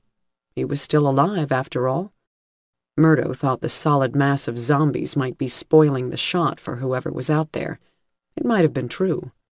But the sniper found a better angle, apparently, because he blew Juan's heart clean out of his body. Now the Zeros were going crazy their hunger driving them against the fence, as if they could push themselves clear through it if they tried hard enough. Murdo's main concern was that they probably could. There were hundreds of them, with more on the way, and the fence rocked slightly as they thrust themselves upon it. Meanwhile, inside the terminal, the civilian hostages wept and cursed. 3. Wolf got another one with a trick shot. He'd spent the morning of the third day after he rescued the sheriff getting himself into the high ground overlooking the airfield, and he was working his way along the ridge. These Hawkstone dipshits couldn't simultaneously search for his position and hide on the floor, so they had no idea where to find him, and they obviously didn't put on their thinking caps either. Because right now, there were very few safe places he could shoot from without getting eaten alive. One of them was the stony ridge that ran parallel with the runway. He had a good 600 feet of altitude at a fairly steep angle. From that height, he could see down into the rooms of the terminal building if the windows were clear. They had the place buttoned up pretty well now. All the blinds were drawn. But the blinds stood off the interior window frames a couple of inches. He noticed, in one of the upstairs sleeping rooms the men used, every now and then somebody would move the edge of the roller shade a little and have a quick look around. And when they did, Wolf could clearly see the silhouette of legs, a glimpse of them, between window frame and blind, invisible from below, obvious from above. Now, Wolf didn't want to kill any non-combatants. He wasn't sure about the fat guy he'd shot, for example. He wasn't built like a fighter, and his uniform looked borrowed. So that might mean they were dressing up civilians and sending them out to die. Far from troubling Wolf, this merely added to the interest of the assignment. The possibility of an unforgivable error made the stakes higher, sweetened the pot. Still, he had to make damn sure it wasn't a harmless woman, especially the one with the ten-gallon hats in her shirt. He thought he might have a chance with her, if he cleaned up a little. He elevated the barrel of the rifle, adjusted for windage and gravity. The legs were there behind the window blind, and then the weight shifted and the curtain fell back into its usual position. They were about to move on. Wolf fired, brought the target back into the scope, and waited. There was no sign of whether he'd gotten a clean hit or not. There was a tiny black dot where the bullet had gone through the blind, half an inch from the window frame, a little haze around it. That would be the broken glass. Nothing else. Wolf crawled backward on his belly until he was out of view. He didn't want to risk their locating him. That grenade launcher could turn the ridgeline into Mount Rushmore. He scrambled along a deep ledge until he found the notch that took him right over the other side of the ridge. It was getting harder and harder to travel, what with all the zombies down there. Looked like a wildebeest herd, but it was all walking corpses. Some of them were struggling along trails that a mountain goat would have trouble with. Wolf had seen a couple fall, tumbling down the mountainside to land broken in the rocks. One of them even kept on crawling. They weren't afraid of anything, that was clear. Wolf was only afraid of them, nothing else, except maybe that Sheriff Adelman, so he figured that was about as good as it was going to get. All he had to do was stay up high and not fall off anything and break his back. The irony alone would kill him and then he might get up dead and start looking for fresh meat. Nothing else happened that day. Wolf was a man of infinite patience. He waited. Dawn came. Morning turned to day. Then the front door of the terminal building opened, and Wolf sighted on the figure below through the scope of his rifle. The man was wearing the Hawkstone camouflage. The hunt was back on. 4. Danny opened her eyes. The sun was shining. The sky was blue. In the dream, she had been swimming. The water was warm and full of bright, flashing fish. She dove down among the rocks and coral. There was no question of drowning. She could hold her breath forever. She swam down through a gap in the rocks where the light was green and dim. Then she swam through a dark tunnel ribbed and barreled like the inside of a cartoon whale. She swam upward toward the light, broke the surface, and found herself in a bathtub. It was in an all-white bathroom with a bedroom beyond. A fire burned in the fireplace. Then she woke up. You look like Patrick, she murmured. I am Patrick, the man replied. This surprised Danny. The Patrick she remembered was on the pretty side of handsome. This man was not. His face was a symphony of yellows and browns, with notes of deep blue like the USDA ink stains on a side of beef. His nose was very different from Patrick's as well, all dented in, and one of his eyes was a raw red slit between thick lids. Only his hair looked the same. Hi, Danny said, and laughed a little. Laughing was physically painful, but it felt good anyway. It sounded like rocks grinding together. Of events at Boscombe Field, Danny had no recollection at all.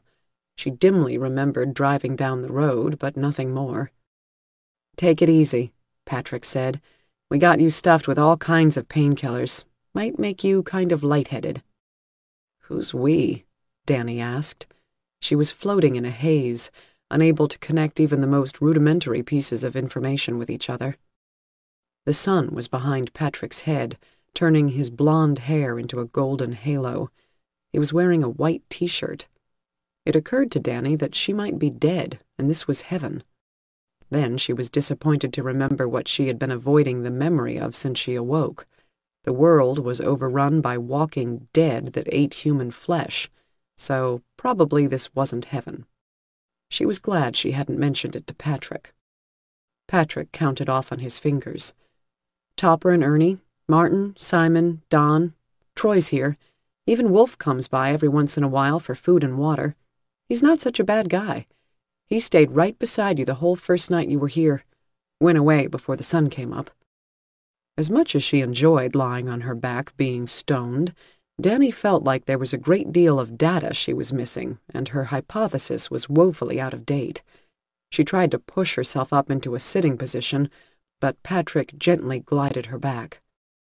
Let me get you a pillow, he said, and hoisted himself up. Patrick was walking with the help of a stick, Danny observed. He was obviously in pain, but didn't make much of it. That was different. He used to complain about damn near everything. Now he had something real to bitch about. He was bearing it with grace. Danny drifted out of consciousness without knowing it. When she woke again, Topper was kneeling beside her. He had a fading black eye himself, though not quite as bad as Patrick's. Patrick returned. He arranged a balled-up overcoat under Danny's head. She was lying on, or very close to, the ground, inside something like a big turtle shell. That much detective work she could handle. Topper knelt beside her, and she smelled armpits and whiskey and motor oil. The motor oil smell disturbed her for a reason Danny could not summon before her mind. How you feeling, Sheriff? Feeling no pain, Danny said, and smiled back. There's so much dope in your bloodstream we could probably sell your piss for fifty bucks a shot, Topper said. Danny wanted to laugh again, but it seemed like a lot of effort, so she passed out instead. They cleared the farmhouse room by room. Two men inside, both dead. They were not locals. Danny thought they were from the city, not the middle of nowhere where they had been patrolling flat sand to keep the date palms safe. The woman in black was dead, someone said. Danny went outside again. She hadn't spared a thought for the woman since she'd run for the side of the farmhouse to get herself out of range of the windows. Now Danny went out into the broiling hot yard and crossed the dirt to the place where the woman lay, dead, her eyes half open and staring at a point somewhere beyond the center of the sky. Her lips were parted.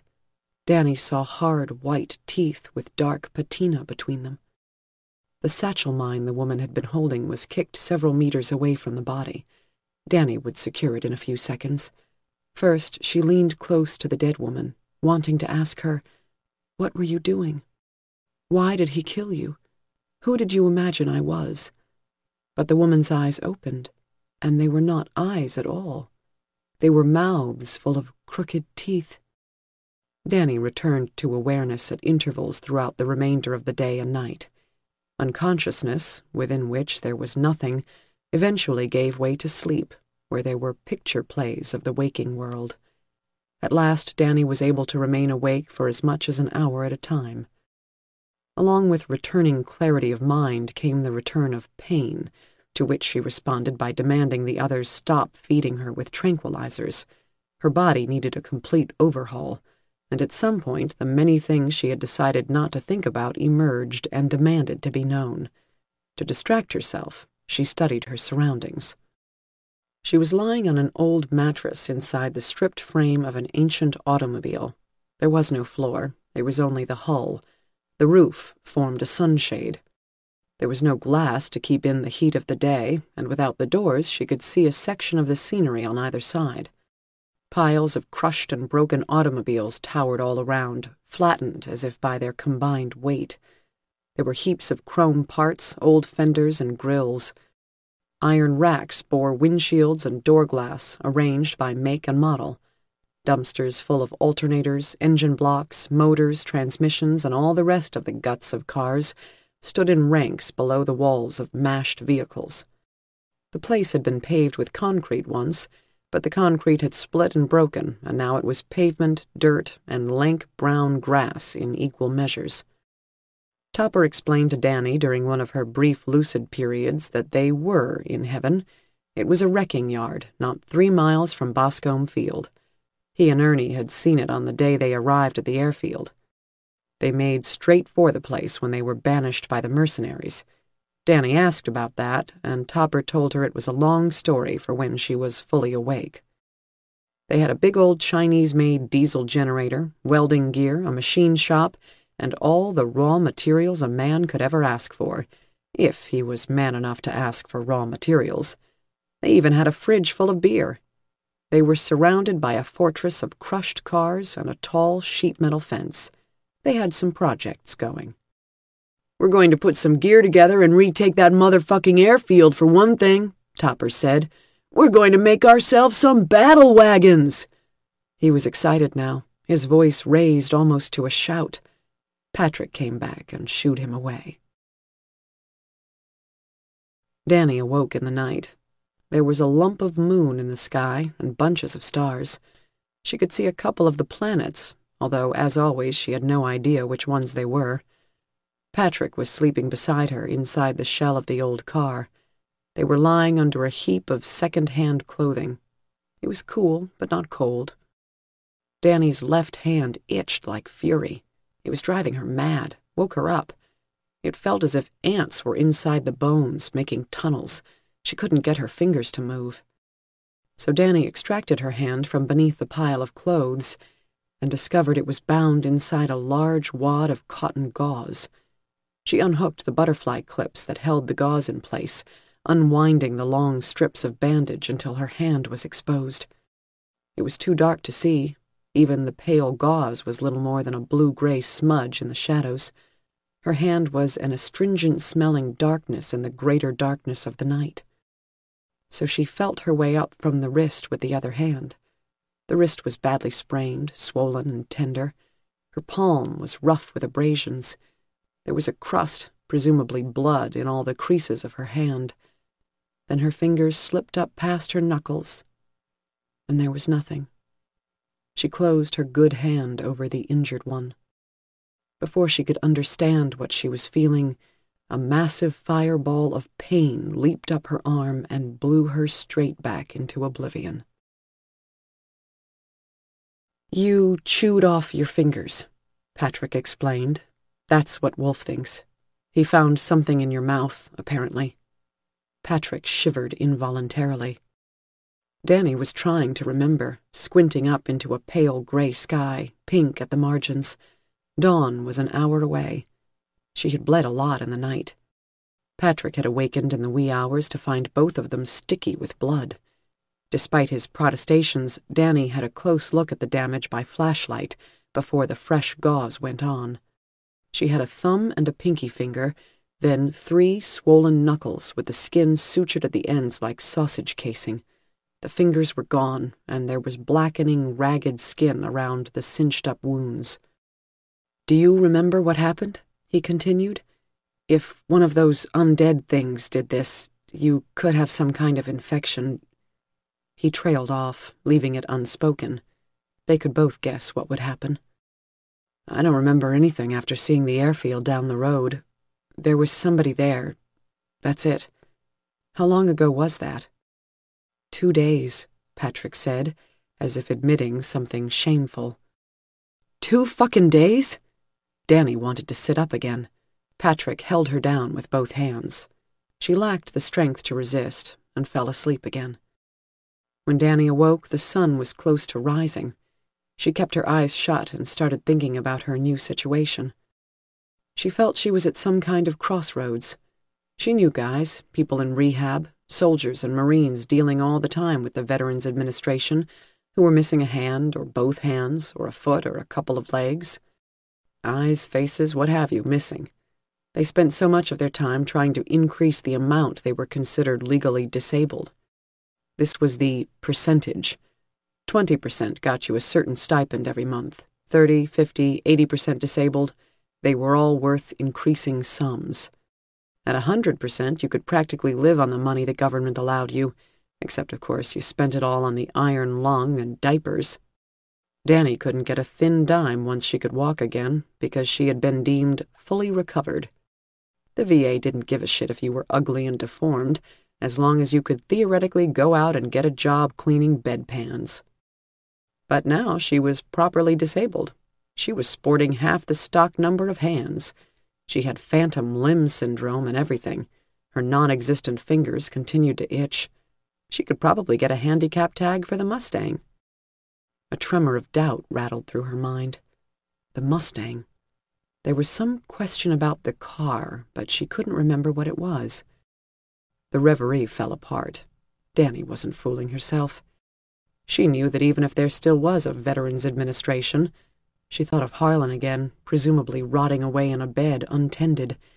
Even if parking was ever an issue again, she wasn't somebody who could call herself handicapped. She was going to have to put this thing behind her. She was going to have to figure out a system for living the same way she was before, only one-handed. Which shouldn't be difficult, the voice said. It never slept. You weren't living very well before. She had lost a part of herself and come out alive. She was stronger than ever because she had even less to lose. She knew it was the painkillers, but Danny was exhilarated by this weird new situation. She had to share the moment with somebody. She didn't feel loss, as she expected to do. She didn't resent having to chew off her own fingers. Rather, she felt impossibly alive. She felt irreducible. What she was had been reduced to its absolute essence, then reduced again, and then she was supposed to die. But she didn't die. So everything ahead of her was extra time. Danny rolled over on her good elbow and shook Patrick. Hey, she said in an urgent whisper. What is it? Patrick whispered back. I'm invincible. She passed out again. By midday, she had a raging fever. Patrick kept asking for cool cloths to wipe Danny down, and the others kept bringing him filthy shop rags. Danny's face was getting progressively dirtier as the fever expanded, but if Patrick left her alone for ten minutes, her sweat flushed most of the grime off.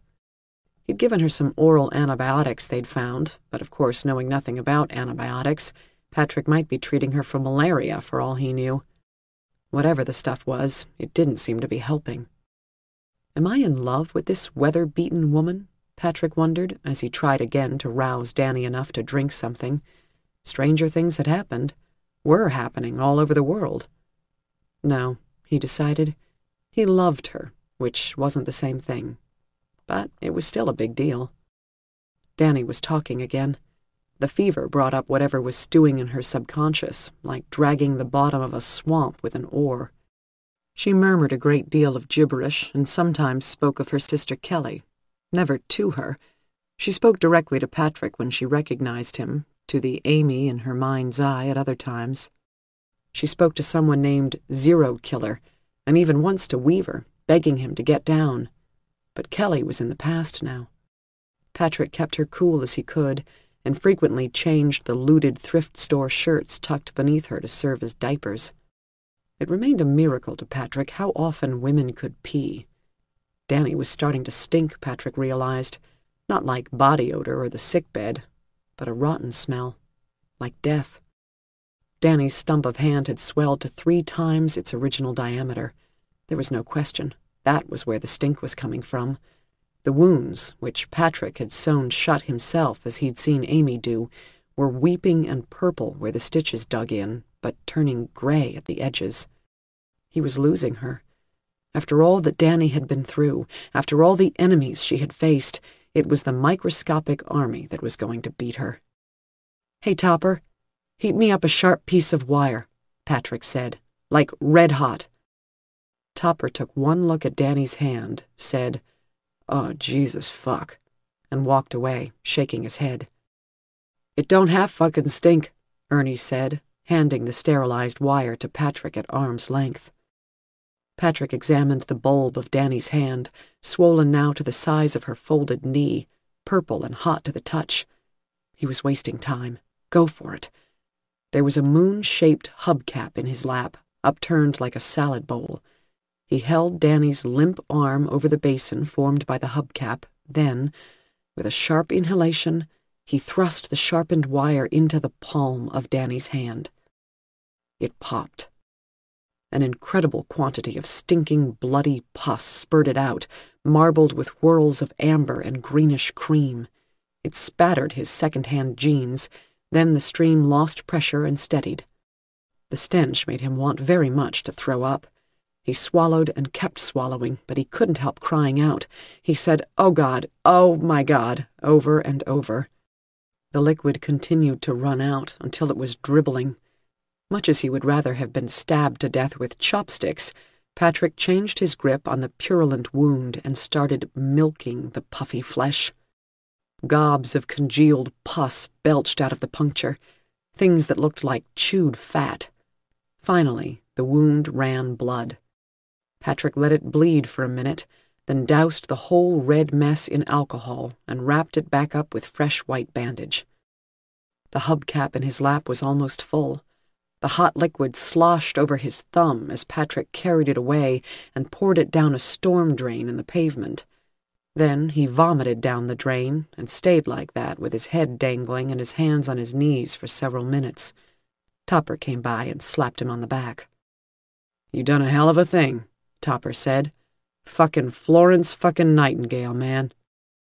After all that, she better not die, Patrick said, and heaved again. Danny didn't die. It had been four days since she bit herself free of the Mustang. She was feeling much better. Damn good, even.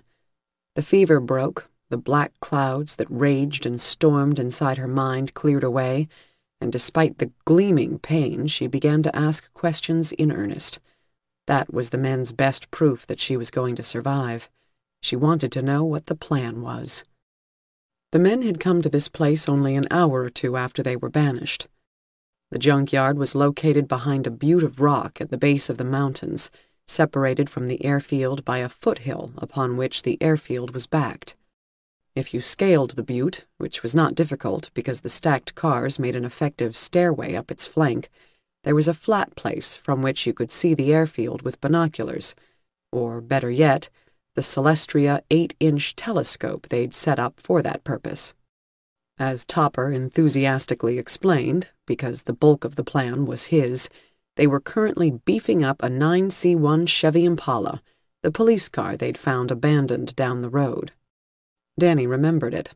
There had been an old, wizened zombie in the back. She looked like fucking King Tut, but she was still kicking, Topper chuckled. I made Ernie do the braining on that one. They had made some modifications to the basic police package that Topper thought Danny would like. In addition, they had an old Ford pickup running, not to mention Patrick's fire truck, and there were a couple of adequate Harleys that didn't need much work to be roadworthy. The plan was to creep up on the airfield at night, lights off, then all of a sudden ram the fence from the side behind the terminal building, not at the gates, where the grenade launcher and the 20 millimeter cannon presented an obstacle, let alone about 400 zombies. The rest of them would get in there through the gap and start killing anybody over six foot. Along with her health, Danny's memory had returned. Not all of it, but she could now remember the early part of the confrontation she'd had with the Hawkstone men. and that the Mustang had gone to pony heaven. Their leader is five nine at the most, Danny said, remembering Murdo. She heard the plan out.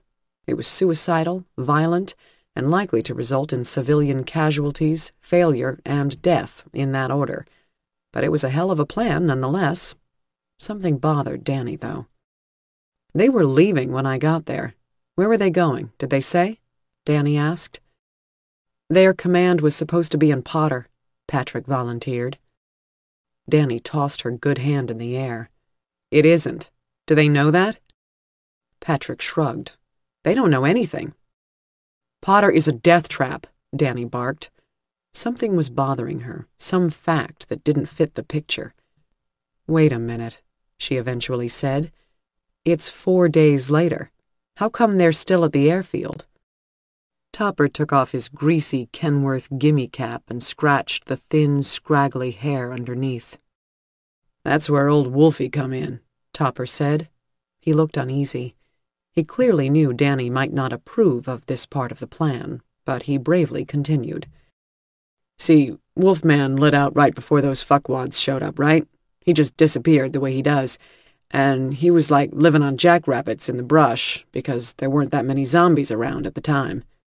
Watching the airfield, never more than 500 yards away, and them twats didn't even know he was there. And he had his rifle, too. So when we got tossed out on our asses, he followed us here, and we met up and told him the deal, and I already had this idea going, right? And he said he'd keep him there long as he could until we had ourselves set up. You guys, Danny said, shaking her head. So days are going by, right? Topper was warming to his narrative.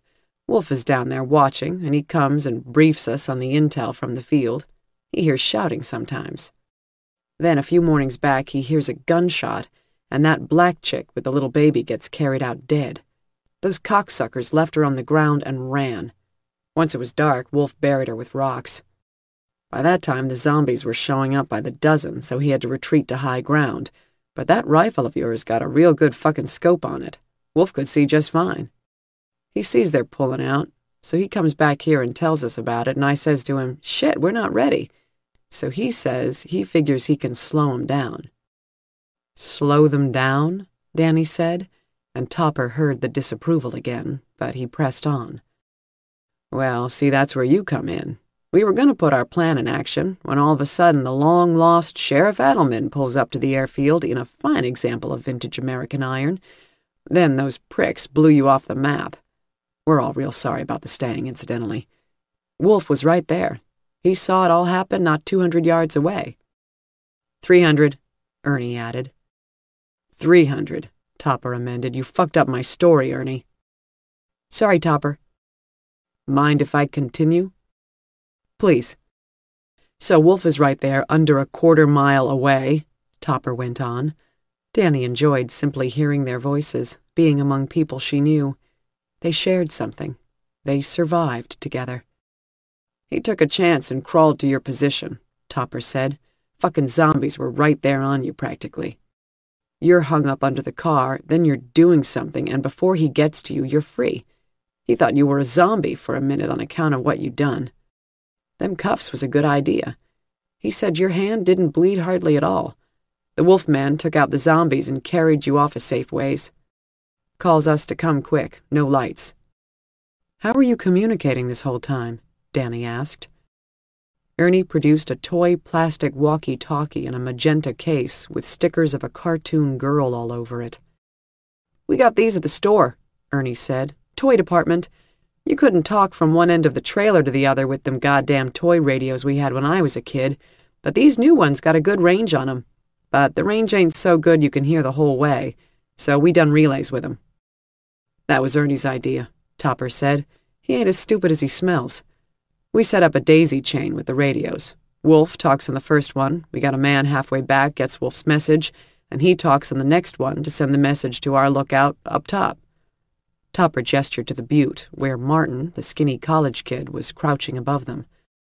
Go keep watch for Christ's sakes, Topper shouted, catching sight of Martin. Martin walked away out of view across the top of the butte. Man, we're as bad as those pukes down at the airfield, Topper added, then went on. Tell you the truth, Wolf was real mad about what happened to you. He shot one of those fuckers in the head right after he found you, just out of spite, and that give us all the idea to keep him where we want him. Anytime one of them pecker wipes shows himself, we shoot him. Shit, they keep peeking out the windows. They might run out of men before we're even ready to move on the plan. Having heard the whole story, what Danny meant to say was, What an extraordinary series of actions. What an unprecedented situation. It is thought-provoking. I am impressed, and I am compelled. What she said was, Fuck. And again, thoughtfully, Fuck. They knew what she meant. Danny ate for the first time in days and ate well. Macaroni and cheese from a box, followed by cocktail franks from a jar. Then she felt sick, but it stayed down, and the next thing was thirst. She wanted beer, something cheap and American if they had it, but no light beer. Patrick brought her three large bottles of sparkling water. She complained, then drank all three bottles inside forty minutes. A while later, she belched with such force that Ernie came to see what the noise was a welding mask propped up on his forehead. Nice one, Sheriff, he said, and went back through the piles of wrecked cars to report the occasion to Topper. Danny was back under the old car hull. It was a 1939 Buick, she had determined. Patrick was on radio relay duty at the listening post out in the desert, a spot relatively zombie safe because it had an eight foot cliff on one side and an old cow pen with heavy wire along the other. Still, an anxiety producing place to be, easily surrounded. Topper came by to visit Danny. He was reeking of ozone from the arc welder in the shed. They were going to move her to the living quarters next, but they wanted her to be able to walk on her own. She thought she probably could, the men were shacked up inside a corrugated iron Quonset hut around the corner, where the interior parts and upholstery were kept by the previous owners. The men were sleeping on bench seats scavenged from old trucks. It was a bachelor's paradise, except for the absence of good-looking ladies. Pardon the implication, Topper added. I don't know how you survive all this, Topper mused. It's got me stumped, too, Danny said, and waited. When Topper didn't laugh, she prodded him with her good elbow. That's just wrong, Topper said. Danny cawed with laughter. It wasn't a pretty laugh. It sounded like somebody sawing a sheet of tin, in fact. But then again, she wasn't accustomed to laughing. Danny wanted very much to get into action. Her friends were down there, she couldn't remember what directly preceded her getting blown up and performing the self-amputation, but she knew Amy was in trouble. Danny remembered that she had seen her friend alive, but not what she saw. There were the stories of what had happened before as well. The mercenaries from Hawkstone had beaten Patrick almost to death and killed the young mother. For all Danny knew, the baby was dead, too. According to the reports from Wolf, Three Hawkstone men were dead or wounded, although one of them might have been somebody else dressed as a soldier, he had to admit. Danny admired the old man's candor. He might have shot a non-combatant. His bad. He accepted full responsibility. He also knew there wasn't a working jail or courthouse on the West Coast. Later, Danny tried to figure out how to eat with one hand. There was no physical rehabilitation anymore, she would have to invent new ways of doing a lot of things. Patrick knelt beside her and produced a rumpled plastic bag from his back pocket. Inside was Kelly's note. You had it on you. Your uniform is cleaned up too, Patrick said.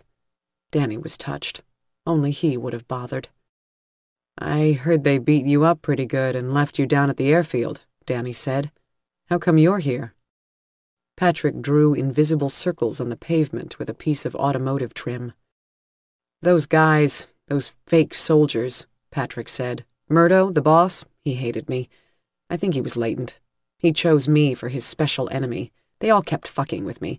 It was so obvious they wanted to make an example out of me, and I was so like, no way, not happening, but even that upset them. I don't remember getting my ass kicked, thankfully, Patrick continued. I don't even remember the next, like, three or four days. They sat in silence for a while. Then Patrick made a couple of false starts at speaking. He wanted to say something, but couldn't find the right way to put it. Why did you go? he finally said. Danny shook her head. My sister. I was crazy to find her. I had to try. If it had been Weaver, you know what I mean? You went out to look for her. All the way to San Francisco. She's gone. It's all gone. I realized out there there's nothing left. Each other is all we got. It sounds gay, I know. I mean, I know what you mean. Anyways, I shouldn't have left you guys. I guess you didn't have a choice. Patrick didn't sound convinced, but Danny knew she didn't have the right to insist on understanding. What had happened to him, and to all of the survivors, was as much her responsibility as it was the mercenaries. Out of her emotional depth, she changed the subject. So what happened? I woke up the next day. I was marinating in my own pee, but I was all bandaged up, so I know Amy was taking care of me. What happened was I was staring at this god-awful spray-on acoustic ceiling material, and then one of them comes in, one of these Hawkstone gangsters, the Italian one. He takes one look at me like I'm worthless, and then he peeks out the window. Half an hour later, he comes in and does it again. This time the boss is with him, this guy named Murdo. He's such an overcompensator. Was he the short one? Total Porsche driver. He tells me I'm lucky I'm even alive, which is debatable based on the state my beautiful face is in. Then he tells me somebody is shooting at us, and he wants to know who. He thinks it was Topper. Of course, I hadn't the foggiest, and I told him that. He comes over to smack me some more, and just then Amy arrives and tells him if he hits me, I'll die. He says, So fucking what? I kid you not, his exact words. So fucking what? And right then, the window breaks. I thought the Italian stallion broke it, but he's going like this. Here, Patrick pantomimed, pressing his stomach with the heel of both hands. And he falls down. And I had no idea that much blood could come out of somebody. It was unbelievable. He got shot right then and there, just like Murdo said. Amy did whatever she was doing, tried to stop the bleeding, but she said it must have gone through his liver or something. He kept trying to fight her off. Then he died. So, how many of them are left, as far as you know? Danny was caught up in the narrative, but she was also building up her calculations, adding in factors, trying to come up with a way to spring the others out of captivity that didn't involve making a big hole in the fence for Zeros to get through. Patrick shrugged. Murdo, Parker, this guy with a neck like this, Reese and Flamingo. Don't ask where he got his name. There's this psychopath called Ace. Amy told me he killed Cammy, the one with the baby.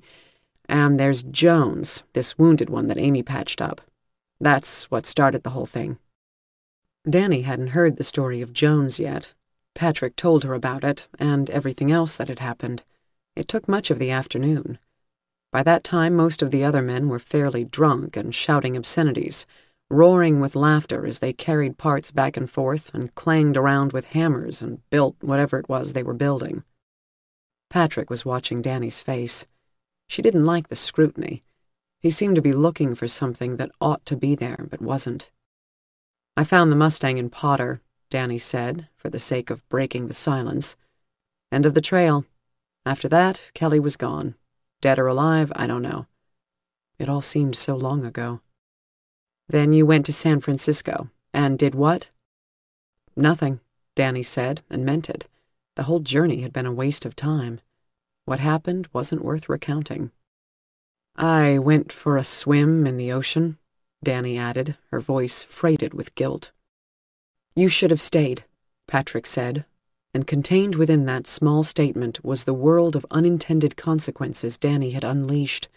He might forgive her some day, but she wouldn't. She felt a flood of grief and could have cried, but cleared her throat instead. So, how did you get out of Boscombe Field? Sounds like the place was locked down. Patrick could see Danny wasn't going to tell him anything else about her adventures, so he closed his eyes to summon the history before him. Yeah, and now, with the Italian dead, the Hawkstone guys were really going cuckoo for their Cocoa Puffs, so to speak. Murdo went crazy. Not so much because he lost another man, I think, as because it could just as easily have been him that got hit. So, next morning, I can walk a little, and Murdo dresses me up in the Flamingo's uniform. They all hide next to the windows with their guns, and Murdo tells me to go outside or they'll shoot me. I can totally see what the idea is, and everybody's yelling for me not to go out there because they did the same thing with Juan before and he's dead. But what do I care, right? I wanted to die at that point. So I went outside. If Wolf shot me, they were going to shoot back in the direction the shot came from. I guess he recognized me because nothing happened. Murdo was so mad he tried to shoot me from the front door, but Wolf shot the doorway up and all the big tough guys ended up on the floor. I went over to the hangar, got the fire truck out, and drove away. It's not that simple, Danny said. The airfield must be swarming with zombies. Everybody's dead by now. Amy, the rest. You didn't just open the gates full of zeros and shove through them and then close the gates behind you. I mean, you just didn't. You'd be dead. Oh, come on, Danielle. Give other people a little credit. It's a truck full of fire retardant foam.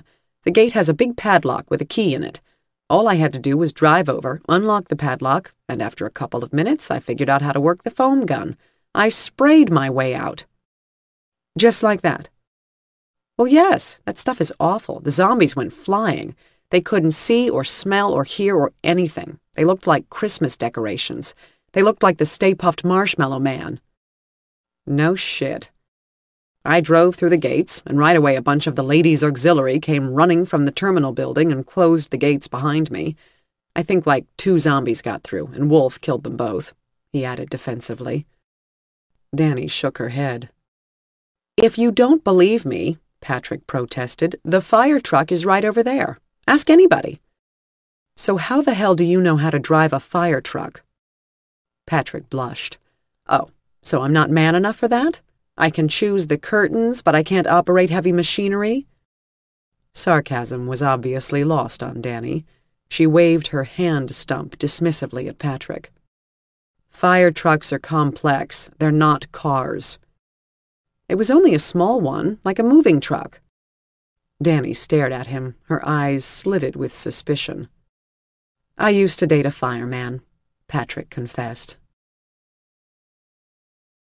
Danny found she could move around now without getting lightheaded. She felt good, despite the pain. After years of prescriptions and drinking, she felt as if all the poison had left her body. Maybe it had, running out of the infected stump of her hand. With Patrick's assistance, Danny took a tour of the junkyard. It was probably originally a place for salvaging parts and selling the rest for scrap metal, but clearly someone had loved the bits and pieces, because there was now a comprehensive auto-building workshop there, full scale, if hand-built. They had independent generator power, tools, a spray booth, pneumatics. It wasn't state-of-the-art, but it was everything a fellow needed. The front gates were a masterpiece of folk art. Coyote skulls and deer antlers sprouted from a deadly-looking metal sculpture surmounting a pair of huge iron doors on two-foot hinges. The gate belonged on a medieval castle. The doors were studded with hubcaps and wheels. Each door must have weighed five tons, but they were nicely balanced. Topper gave Danny the tour of the facilities and lamented the previous owner was not among them. He was my kind of motherfucker, Topper intoned reverently. Then he helped Danny over to a rudely constructed garage, the door to which Ernie swung open on cue. Ta-da! Ernie said. It's not beautiful, Patrick said, but it has a certain something. Danny said nothing. She limped past Topper and circled the machine slowly. She could see the basic outline of the Chevy Police Special underneath. The paint was the same, but the vehicle had been built up from end to end. A frame of tubular steel, granular and blackened at the welds, mimicked the contours of the car, forming a cage around it. Panels of chain-link fence had been framed in iron and set into the tubular superstructure across all the windows. The doors had their own independent frames welded straight onto the sheet metal. A row of mismatched off-road lamps were mounted on the roof above the police flashers, at each end of the car, the factory bumpers had been pulled off and replaced with railroad ties, bolted on and bound with thick steel rope. Projecting out of the railroad ties was a pair of arms that extended two feet beyond the nose of the vehicle. Between the arms was stretched a length of slender cable. That what I think it is? Danny said at last. She gestured at the cable with her injured hand. It's for cutting cheese, Topper said. When Danny said nothing else, Topper added, It's not done yet. We'd like to reduce the weight some, maybe get some gladiator action going. It's good, Danny said, realizing she needed to say something. Damn good. When the following dawn came, Danny had been awake for hours, contemplating the options before her. There was a quotation she remembered from Sun Tzu's Art of War, good advice even 2,600 years later. Do not interfere with an army that is returning home. When you surround an army, leave an outlet free. Do not press a desperate foe too hard. It was time to create an outlet. 5. The shooting had stopped. Murdo sent several relays of civilians out. The women looked ridiculous in the oversized uniforms, but even made Mrs. Tits go out holding a gun to Amy the veterinarian's head, and that didn't work either. The sniper was either holding fire, or, more likely, he'd been chased away or eaten by the Zeros. It was time to take a chance. Murdo had decided which of his men was going to take it. But when he brought the subject up, the first thing that happened was Estevez worked the chambering mechanism on his submachine gun and said, I think it's your turn, Mr. Man. Murdo shouted at them. He raged. They all stood there, bigger and meaner than him. And then he saw it. In a single gesture, assuming he survived, he could make himself into the commander again, the respected leader. He could turn himself into a legend. All he had to do was get out that door and across to the ASV. Once he was inside, he was safe. He was armed to the teeth, and he was back on top. He told them they were all pussies. Fuck it, man to do a man's job. He went to the front door, splintered with bullet holes from Patrick's escape, and opened it a crack. Nothing. That wasn't how the sniper operated. He was sure the gunman was up on the ridge line above the airfield. Where else could he be and not get bitten to death? But it was a mile of rough stone up there. A man could hide out for months in a place like that, picking off targets below. Murdo had spent time in Afghanistan with stone-cold killers who did exactly that for a living. Murdo knew what to do. Get into the gun turret of the ASV and blast off with the grenade launcher, blow that whole ridgeline to shit. Even if the gunman wasn't up there, it would sure put the courage back in his boys. He was hoping somebody would tell him not to go. Don't risk it. Let me take your place. Nobody said a thing. Hyperventilating freely, Murdo drew his pistol, then kicked the door open and threw himself outside. He hit the ground painfully and rolled this way and that, thrusting himself from roll to roll with his legs. But he lost track of the ASV and all the rolling and worked his way too far out into the open. He wasn't dead yet, so he took a chance and scrambled to his feet and ran, body bent double, to the shelter of the massive vehicle's flank. He climbed up into the side hatch, gasping for breath, soaked with perspiration. No rifle shots. He made it. That would show those assholes who had what it took.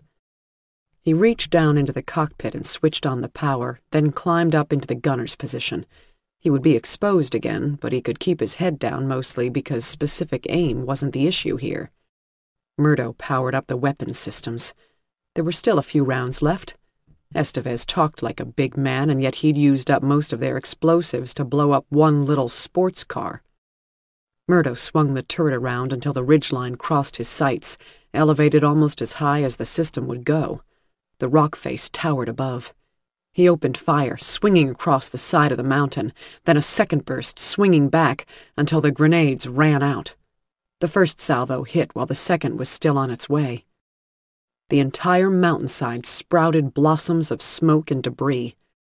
Then the second salvo of grenades stitched along the rock face below the first impacts, and Murdo was extremely pleased to see the entire damn cliff come apart in long, smoking fissures, then collapse with the slow, rumbling majesty of an iceberg calving into the sea. The roar of so much rock coming down was deafening. The whole world trembled. A solid wall of dust and smoke billowed up and swept toward the airfield, and Murdo bellowed in triumph. He had won. Then the airborne rain of broken stones came down. Murdo dove for cover inside the ASV. For twenty seconds the rumble came whistling out of the sky. Glass broke, metal clanged and buckled, and the ground trembled with the hammering of rock. A boulder the size of a king mattress whirled down and cut the firefighting helicopter in half. Dozens of the undead outside the wire were struck down, some reduced to pulp. Then the cloud of dust from the hillside wafted across the rock-strewn asphalt, obscuring everything for twenty seconds. When the pall lifted, Murdo looked out of the turret to see what he had wrought. The airfield was almost in ruins. There were holes in the roofs, and the tower windows were shattered. Part of the fence at the far end of the runway had collapsed. The front of one of the Humvees was crushed in by a man-sized chunk of rock, and there were dents in all the rest of the vehicles, except the ASV, which had weathered the storm of rubble impassively, although it was thickly covered in debris.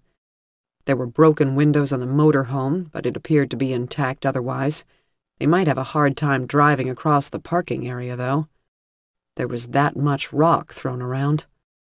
Unintended consequences, but who the fuck cared? He was the man. Murdo waved at the terminal building. He saw faces at the broken windows, having a hesitant look outside, afraid. Come on, you pussies. Roll out. Wolf was happy to see Danny conscious again, but he would have preferred to keep on plugging away until he got all the Hawkstone men. He was pretty sure he could do it. But, as usual, the sheriff insisted on moderation, on strategy. After all, the mercenaries might drive the women five miles up the road and leave them behind, not a shot fired or a life lost. So the men from the junkyard waited and watched. The spectacle of the mountain grenade bombing was worth the wait, certainly, although it looked for a while as if it had killed everyone below. You still wish you were up there? Danny asked Wolf. If I was up there, he wouldn't have lived long enough to do it, Wolf muttered. The problem now was that the fence was compromised. The Zeros were gathered primarily at the near end, where the gates were, but there were some at the far end, and they had already discovered the breach in the defenses. It would take them some time to make it down the length of the runway, but they were inside the perimeter, and there would be more. However, as they watched, through telescope, binoculars, and rifle scopes, they saw knots of people coming out of the terminal building. The mercenaries were forming rings of civilians in case the gunman was still out there. I could make headshots there easy, Wolf said, to nobody in particular. Danny was on the big telescope, but she couldn't discern who was who. She hoped Amy was down there among those hustling for the vehicles. Less than five minutes later, the convoy was rolling. They saw a bright flag of fire jump out of the 20 millimeter cannon on the ASV, and the swarm of zombies at the gate seemed to glitter and burst into confetti. Something from a parade. They heard the distant rattle of the cannon a few moments later. The undead were falling, cut to pieces. The roadway turned black with guts and blood. Then the ASV jumped forward and rammed the gates open. The convoy rolled through the gap, slowly, the cannon still sweeping the swarm, then picking up speed. The ASV was plowing through the fringes of the crowd now, and then they were all driving away down the road, the motorhome in the middle, the remaining Humvee at the back, and behind that stood what was left of Boscombe Field, the undead already stumbling in to claim it for themselves. Wolf's toy radio spoke. It stuttered and spat fragments of words. Ernie thumbed his on as well, and it echoed Wolf's. What band are those on? Danny asked. Fuck if I know, Ernie said. Any damn interference cuts 'em out. Danny understood. Toy transmitters, like these radios or remote-controlled cars, were designed to be easily overridden by stronger signals. It was a guarantee that some kid with a foot-long RC dune buggy wouldn't inadvertently cut out a fire department signal or a police radio, rendering communications impossible during an emergency. Some devices that were supposed to be safe for you still did it. Certain cordless phones, for example, could break up a transmission as a squad car rolled past the house. As the convoy rolled up the road toward their position, the puny little toy radios were picking up transmissions from the transceivers aboard the vehicles. The digital band signals would make no sense, of course. The military favored them for that reason, among many. Scrambled fragments of noise that had to be assembled into ones and naughts before a computer turned those into simulations of sounds. But the White Whale didn't have a satellite radio. It was good old-fashioned citizens band. That meant Danny might possibly get to listen in. They all watched and waited as the convoy rumbled away from the airfield, a plume of dust rising up behind it. They all listened as the toy radios muttered and squawked. Then chunks of intelligible speech came through, words and phrases, and finally Danny heard the word Potter. Patrick was right. Is that thing gassed up? Danny asked. I'd like to take it for a spin. Murdo led the convoy down the highway and was relieved to find far fewer zombies once they moved into the rougher hill country. They'd had to grease dozens of the things on the way to the main road, blowing them apart with the cannon or running them down. The massive swarm inching its way north through the lowlands worried him, because Potter was northward. It also worried him, or bothered him, that his men hadn't given him credit for his courageous actions of the morning. Hadn't he gotten them out of that place? Hadn't he been the one who went outside and braved the gunfire? They had no appreciation. When he hooked up with command, he was going to request a new unit.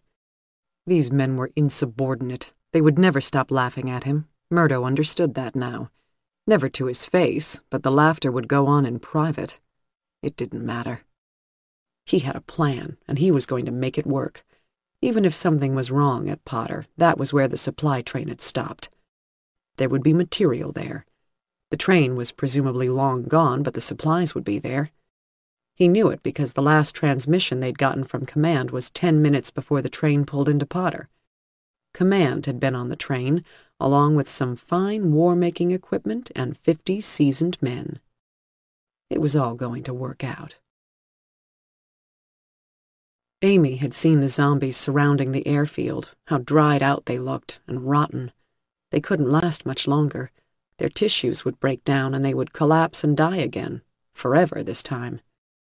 If Murdo and his bunch of meat-headed killers could have been persuaded to pitch in instead of playing the heavies, they might have been able to hold out at the airfield even longer. They could have mounted some kind of defense. All of them together, the men, the women, the civilians, and professional soldiers, might have been able to accomplish something. As it was, all they had achieved was to render the airfield uninhabitable for the next people who came along. Yet another refuge from the undead, lost to stupidity and fear and violent thinking. When Murdo got to Potter, what would he find? More of his idiot companions marching around with their guns and gung-ho? Would they be driving around shooting up crowds of zombies, as they had done on the way out of the airfield? She remembered, when the gates swung open, how Reese, now in the driver's seat of the White Whale, had screamed with excitement. The claws of the zombies had torn at the outside of the motorhome, blackened fingers with the bones jutting out of them. The wheels of the heavy machine had spun in the greasy slick of bowels, dirt, and blood on the road. The smoke from the spinning tires stank of grilled meat, a smell that left a taste in the mouth. The survivors were weeping, holding each other. The baby, uncharacteristically, wailed. Then that huge tank thing of Murdo's had plowed a path through the bodies, and the tires of the whale had gripped, and they started to advance. They left the airfield behind, but the stink remained with them. Reese and Murdo were talking over the radio. Amy was listening. They all were. The question that hung over them was simple. Why had the mercenaries taken anybody with them? Before it made some kind of sense. They had hostages in case the menfolk tried something, but all the menfolk had done so far, and Amy was pretty sure this meant only Wolf, was shoot at them from a distance. Murdo made some cryptic remarks, couched in jargon that sounded like they might refer to the civilians. Mention of the cargo and tiger trap caught Amy's attention. But there was nothing specific. All she knew for certain was this wasn't a humanitarian gesture. They weren't being saved for the sake of saving them. Danny would have known what they were up to. Amy grieved for Danny, and on a bigger scale, she grieved for the brief possibility that if they all worked together, they could make some kind of future out of the disaster that had befallen the world. She didn't mourn for the murdered world, at least not in any direct sense. It had always been a strange, unforgiving place to her, all those people out there making each other miserable. They were still doing it, alive or dead. What she wanted was the chance to start over. That's what all this horror and destruction offered. A new start. Typical of human beings not to leap at the chance. There was a series of curt commands from Murdo, and the convoy rolled to a stop at the intersection of the road to the airport and the Ore Creek Highway. Shoshone Springs, the place was called. Amy assumed this was because there were no Native Americans and no springs there, but there was something written on the blacktop. They couldn't read what it said. The mass of the ASV blocked the view. Flamingo got out of the Humvee and checked the paint, held his fingers up to show Murdo, leaning out of the ASV's side door. Wet paint, Amy guessed. A minute later, the convoy was rolling again, heading in the direction of Potter. As they drove through the turn, Amy clambered over her miserable companions huddled in the living area and made it across the bedroom just in time to look out the back window and catch the message written in sprawling hot pink spray paint across the intersection. Potter equals death. Amy thought it looked like Danny's handwriting, but Danny, of course, was dead. Amy supposed she would be seeing Danny's handwriting everywhere for a while, until the memories faded. That is, if she was alive long enough for memories to fade. She might be seeing Danny quite soon, in the most morbid sense of the phrase. As the motorhome hummed down the open road toward whatever unpleasant destiny Murdo had prepared, Amy wished she believed in heaven. It was one of her favorite wishes, although she kept it a secret, even from Danny. She had a very specific vision of the afterlife. It was not white clouds and angels in the sky plucking harps. Amy's heaven was green fields and forests full of all the animals she'd ever known, and a few people, too. Danny would be there, at age sixteen, before life started beating the joy out of her. Amy thought of Danny again, probably half-eaten and rotten underneath the Mustang. Danny had a habit of mentioning things that would be heaven, but they were always excesses.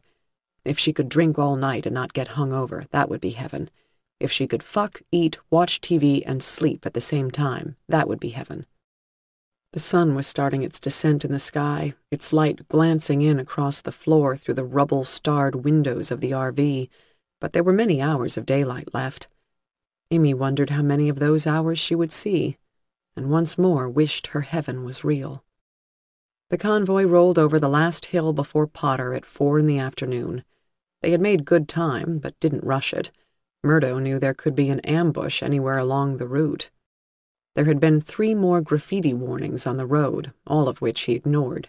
He knew that game. Get him to stop before he hooked up with reinforcements. Get him to doubt, sow confusion among his men. Parker had threatened to stop the ASV at one point.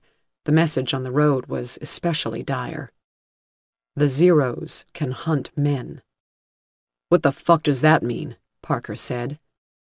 It means they're using psychological warfare, dumbass, Murdo explained. Estevez, up in the turret, didn't seem upset by the messages scrawled on the road, but then, Murdo was pretty sure Estevez couldn't read. There was some backtalk on the radio. Reese was on the verge of mutiny again, and Flamingo was shitting himself. How do we know it's their people, not ours? Flamingo asked. They used Code Zero, he added. Everybody knows Code Zero, Murdo replied. That fucking sheriff even knew it. It angered him to bring up the subject of that particular individual, so Murdo demanded five minutes of air silence. At last they were close. Murdo saw a cloud of birds in the sky. A dusty blue tarpaulin flapped across the road as they motored past a scenic overlook.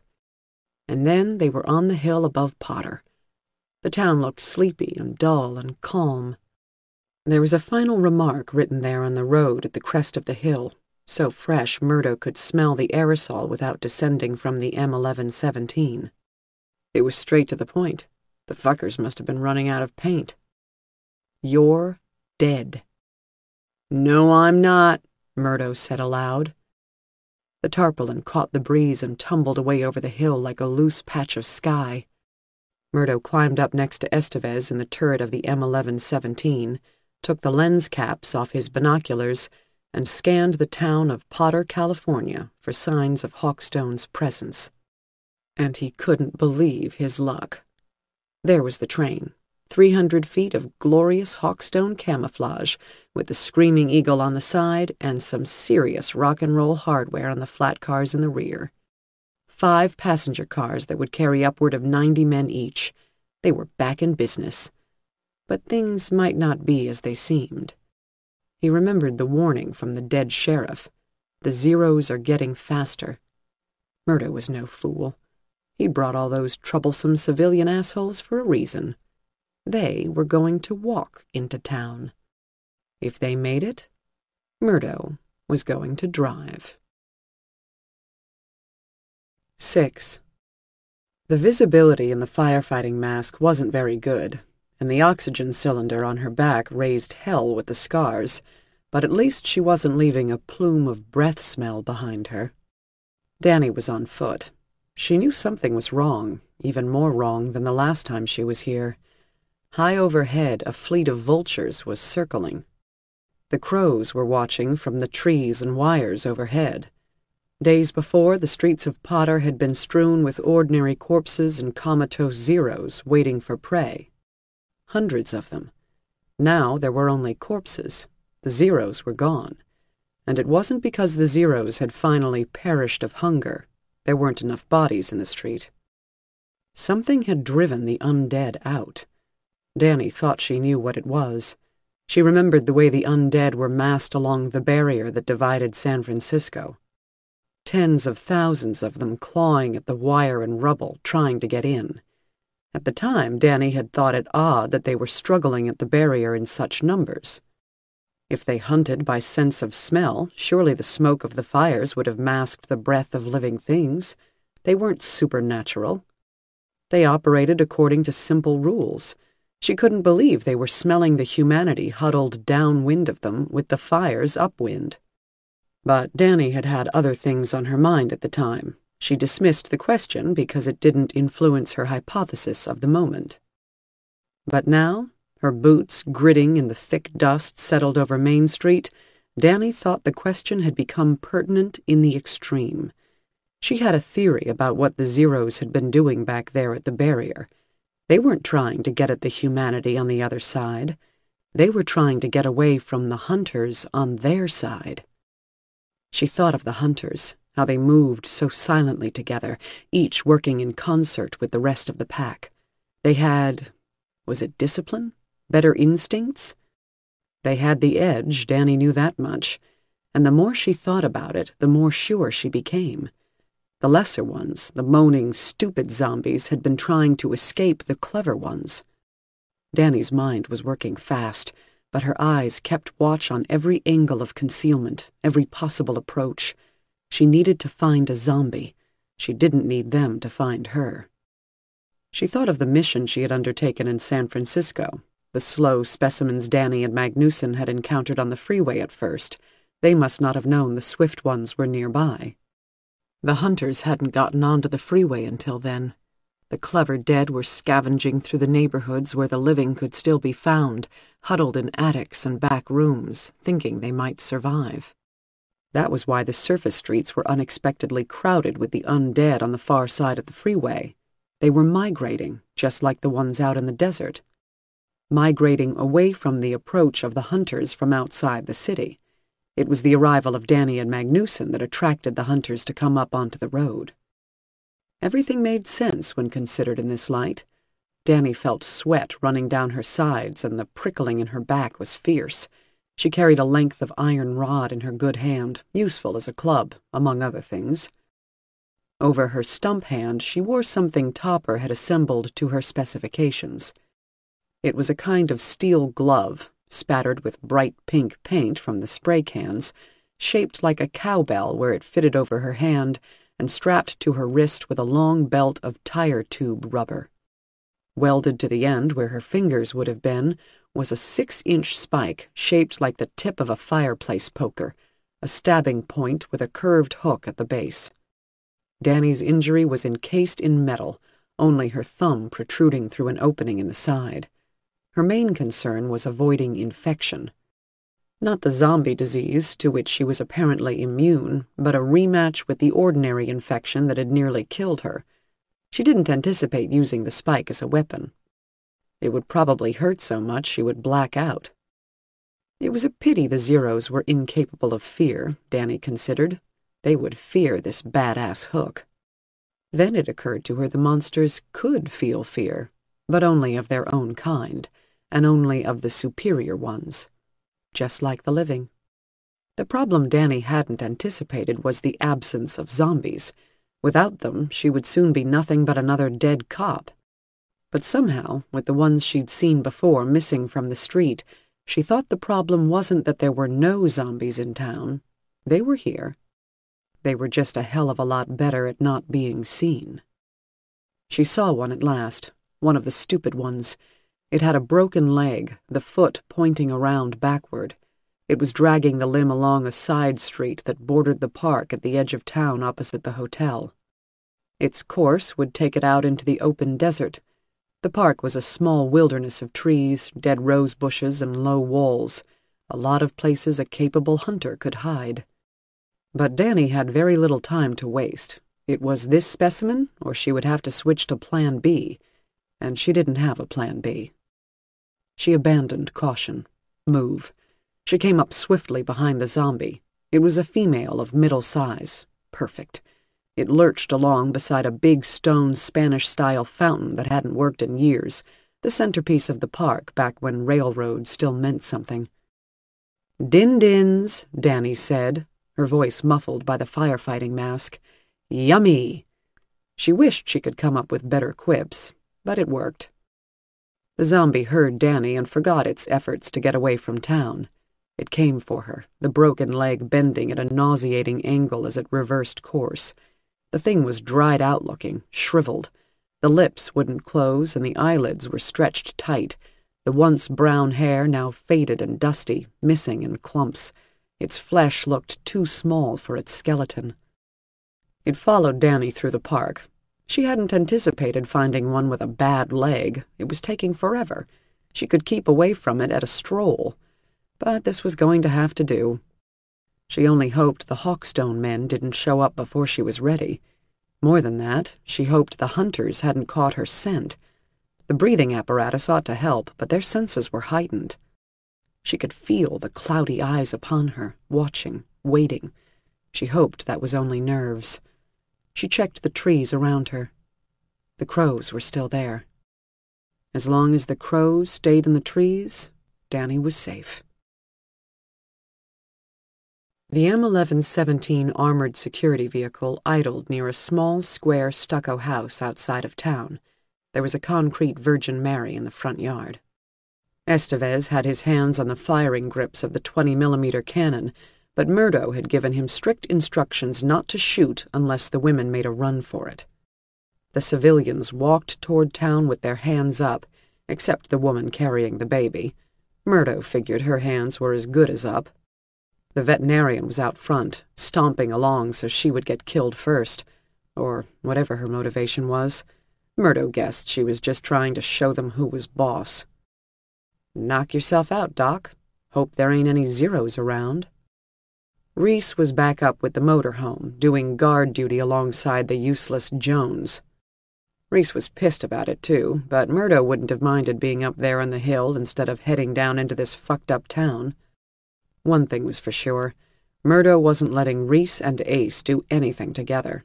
He didn't trust them. Murdo stood beside Estevez, searching town with the binoculars. His confidence that they had found Hawkstone's regional HQ was shaken by the fact that there was nobody around, no guards on the road into town. There were no men on the roofs. There was nobody moving around down by the hotel, where he expected his people would have bunked up. They liked the best, did the Hawkstone brass. It looked like a comfortable hotel. Amy's heart was slamming so hard she thought her ribs might come loose. Potter was where Danny had gone to look for Kelly. Danny came back alone, so no Kelly and Potter. That wasn't a good sign. The inch of dust and sand over the street wasn't a good sign either. The dark traffic lights, also not a good sign. The shrunken bodies lying in the gutters, not good either. Murdo had frog-marched them all out of the motorhome at the top of the hill. He said they were going to walk because he didn't trust them to behave. That meant nothing. Rather, he didn't have the guts to tell them they were bait. Murdo looked sick. His face was waxy. Amy thought it was raw fear she was seeing, because Murdo had been so very certain things were going to go his way in Potter. Now it appeared they might not. There was a huge train loaded with stuff at the station, but it was covered in dust. It had been there a while. If that was Murdo's headquarters, things might not be 100% awesome in Hawkstone's command structure. That is, unless Hawkstone was in the habit of abandoning its command posts. A whirling dust devil made its way through town. Amy studied Main Street as she approached it. There were bodies lying on the ground. They could be zombies or just dead bodies. She looked up at the vultures circling high overhead. There were crows in the trees. It was Troy Huppert who persuaded the rest of the men to let Danny go alone. He was the kind of man who kept in the background unless something needed doing. Troy liked Danny. He liked her a lot. While she was away on her adventures, he'd tried to figure out how he was going to take some role as a leader, and never got the hang of it. Too many alpha males in their group. It was a relief to have Danny back, the unstoppable alpha female. But now he understood something about her. She was going to do what she was going to do, and they would get by somehow whether she lived or died. Here she was, telling them she wanted to take her new car for a spin. She was surrounded by wrecked cars and a wrecked world, one hand chopped apart, beat all to hell, the customized police car idling at the open gates, and saying she was going into town alone. Topper and Ernie started arguing right away, the others jumped in next, and you couldn't hear yourself think. They were all fired up to get down to Potter and make some noise. This was their fight, too. Danny was trying to explain what she had in mind. They weren't listening. Finally, Troy did a sharp two-finger whistle. Let the lady explain herself, he said. It worked. He so seldom pressed his will on the group, he had leverage just by the novelty of it. Danny nodded her appreciation. Listen up, because there's not much time, Danny said. I've been going solo for a while now, and I figured out it's a pretty good way to get things started. It's not a good way to get things finished. She can be taught, Patrick muttered. Danny was unconsciously massaging her primitive steel hand protector. Potter is full of the undead. These Hawkstone assholes are taking our friends there. They used Patrick as bait before, and I think that's what they're going to do with everybody else in Potter. That means they're not so sure Potter is a happening town anymore. The way I see it, they'll just keep sacrificing people until they hook up with their command unit. That means this is an ongoing situation. She looked around at the men, appraising them. Troy tried to imagine what Danny saw. Don, the plump older man, was starting to look like a tough guy, hands greasy, face suntanned. Patrick, with his busted face, looked like the toughest guy there. He probably was. The rest were looking pretty fit and capable, too. What had once been a random collection of isolated, scared individuals was now a team, after a fashion. And they were getting stronger, not weaker. Troy thought they might possibly get through this thing together. He hoped Danny felt the same way. Wolf, on lookout up above on the butte, broke into Troy's contemplations with a raucous shout. You better move your ass, Sheriff. They're coming. All eyes turned to Danny. Troy's heart was racing. He wanted to get moving. He'd do whatever it took. If we mount an assault, Danny continued, they will fuck us up royally. There is a 20 mil cannon on that M1117. There is a Ma Deuce on the Humvee. That's a 50 caliber Browning. They got all kinds of armament, and they're expecting trouble. What I got in mind is to use the Zeros in town to our advantage, right? I won't be alone. I'm going to have an undead army at my back. For that, I gotta work solo. No, you fucking don't, Topper reasoned. Just listen, Danny said. I'm an expert by now. If I get killed, you all follow these boys and catch 'em at the next stop. But I'm not going to get killed. Oh, really? Patrick said, in his most arch tone of voice. How do you know that? 'Cause I can't fucking die, Danny said, and 70 seconds later she was spray painting a message down at the intersection. Then she was accelerating her bizarre machine down Ore Creek Highway to Potter, opening up a long lead on the convoy still rumbling along the road that led from Boscombe Field. Somehow what Danny had said was frightening to Troy. It silenced the arguments. In a time when death was no longer final, immortality didn't seem far-fetched. But what chilled him to the core was the way she said it. With regret. In fact, Danny could absolutely die. That thought was uppermost in her mind. She saw the Hawkstone convoy at the crest of the hill into town, and she knew showtime was about to begin. The problem was, as far as she could tell, she had captured the only Zero in town. The desert around Potter was swarming with them, but the city had been cleared out. Without zombies, she had absolutely no idea what to do. When she had told her guys back at the junkyard she was going to have her own army of the undead, it sounded crazy, but she felt like a snake charmer by now. She knew what to do and what she could get away with. The men understood that. If they came along with her, somebody was going to get jumped on or bitten, and then the whole scheme would fall apart. This was Danny's show, and hers alone. But now, sitting in the interceptor in an alley with a view of the hill and Main Street, she was starting to panic. Where the hell were the Zeros? It had never occurred to her the place would be free of the undead. She had taken it for granted they would be here. That was always the fatal mistake, taking anything for granted. She should be grateful the place wasn't swarming with walking corpses, and yet they had become part of her world. She needed them. Danny watched the convoy stop and saw the Hawkstone mercenaries shoving the civilians out of the White Whale. She saw her friends begin the march down the hill into town, hands raised like prisoners of war. She briefly lost sight of the ASV and the Humvee. They were among the buildings of town now, moving in and out of view, creeping along behind the hostages. Danny was positioned among the low wood-framed buildings on the hill that rolled down through Potter and ended in the steep embankment above the train station. She decided that Plan B was going to be Plan A without the possibility of her own personal survival. That would have to do. In a few moments, the hostages would cross the end of the alley that opened onto Main Street. She would let them pass. Then the ASV would roll by, she would let that pass. When the Humvee reached the end of the alley, she was going to charge. With any luck, she wouldn't break her neck on impact, and the attack would draw the attention and the fire of the ASV crew. At that point, with the guns pointing in the opposite direction, the hostages were going to have to scatter and run for it. Danny expected they wouldn't need coaching. Patrick and the rest would come get them later on. Danny was sure her men weren't far behind, probably waiting on the other side of the hill to see how things went down. By that time, the Hawkstone boys would be long gone. At least Danny would have the satisfaction of killing one of them if she hit the Humvee squarely in the driver's side door. Danny's good hand was slick with sweat on the wheel of the interceptor. By now, the mercenaries would be able to see the decoy she'd set up, the decoy that required a street full of zombies. It would give them something to wonder about, but it was no longer part of the plan. Murdo told Parker to stop. He was up in the turret with Estevez, suffocating from the man's rank armpit smell.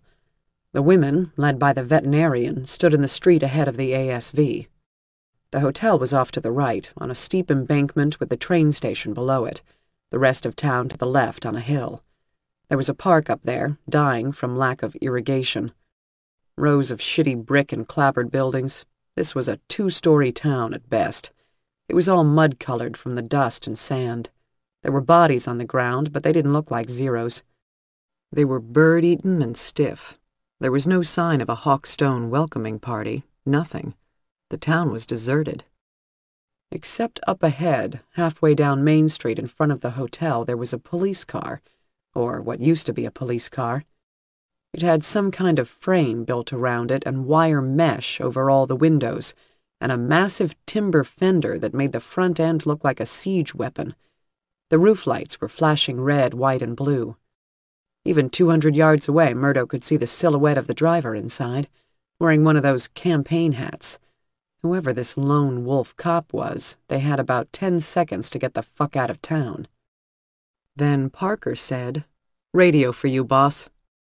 Tell him to get the fuck out of the way. It ain't a him, Murdo. A trickle of premonitory alarm ran down Murdo's back. He climbed awkwardly down inside the ASV and jacked himself into the passenger seat, from which he could see the cop car up ahead through the narrow fore-window. The civilian women were starting to put their hands down, looking around, looking back at the ASV. He thought of telling Estevez to shoot one of them to keep the rest in line, but he didn't think Estevez would be able to stop at one. Instead, Murdo took up the radio handset. Police band, Parker said. This is the unit commander, Murdo said into the microphone. Let them go, a voice said, low, dry, and cold, but a woman's voice. Murdo had heard that voice before. An iron fist clenched itself around his heart. My fucking God, he thought. Back from the dead. I guess we didn't finish you off, Murdo said, trying for a jaunty tone of voice. He wanted to get a little patronizing chuckle in there, but it came out as a kind of click in the back of his throat. He swallowed. His mouth was dry. She couldn't possibly still be alive. Let them go, and I let you live, the voice said. Murdo found himself studying the grotesque vehicle down the street. Was it wired up with explosives? Suicide bomb? Was there a rocket launcher on the back? He couldn't see anything. He cut his eyes up around the rooftops, could be a trap. Could be that sniper was still around. Quit bluffing with us, bitch, Murdo said. He was letting his nerves get away from him. He was sitting inside an impregnable steel fortress. Even rockets wouldn't be effective against the mighty M1117, even a car bomb. Somebody might pick off Estevez up in the turret, but Murdo was untouchable. Get on the horn to back up one, Murdo called up to Estevez. Tell them to look for a sniper. Tell them to light up anything that moves. Estevez relayed the message on his satellite radio. Ace and Flamingo were back in the Humvee. With Flamingo on the heavy machine gun, Murdo had a further tactical advantage. Anybody who exposed him or herself to attack the ASV would have to face annihilation from the Humvee.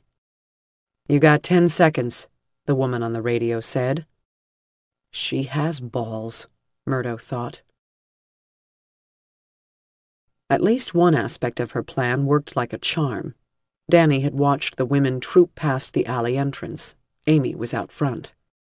Danny's heart heated up at the sight of her, maybe the last sight she'd have. Then the ASV went past, its huge wheels turning slowly. Nobody saw her. They wouldn't. She had thrown a couple of hotel bedspreads over the roof of the Interceptor and parked it in the shade of a carport well up the alley, it was only another abandoned vehicle in a town full of them. This interceptor was the one she had parked on the scenic outlook during her first foray into Potter, leaving it behind in favor of the Mustang. Nobody had molested the vehicle in the interim. It slept beneath the blue tarpaulin, dreaming of high-speed chases. It was a damn good car.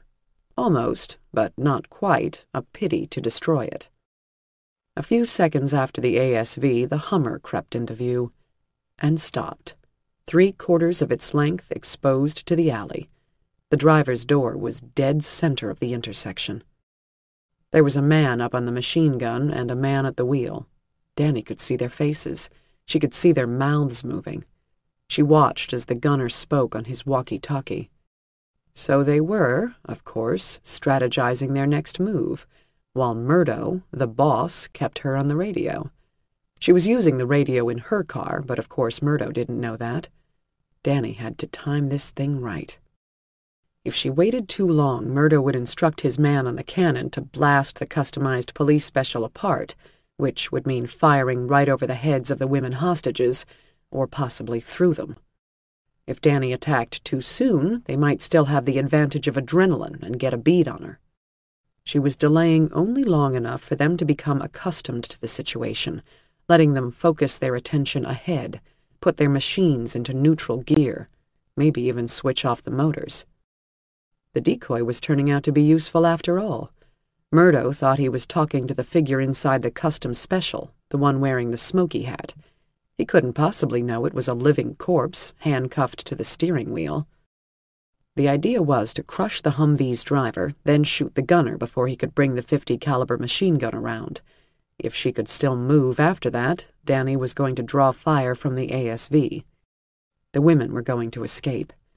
She was in the groove now, like a sniper with the target in her sights, finger compressing the trigger, a couple of foot-pounds of pressure away from making the shot with the target completely unawares.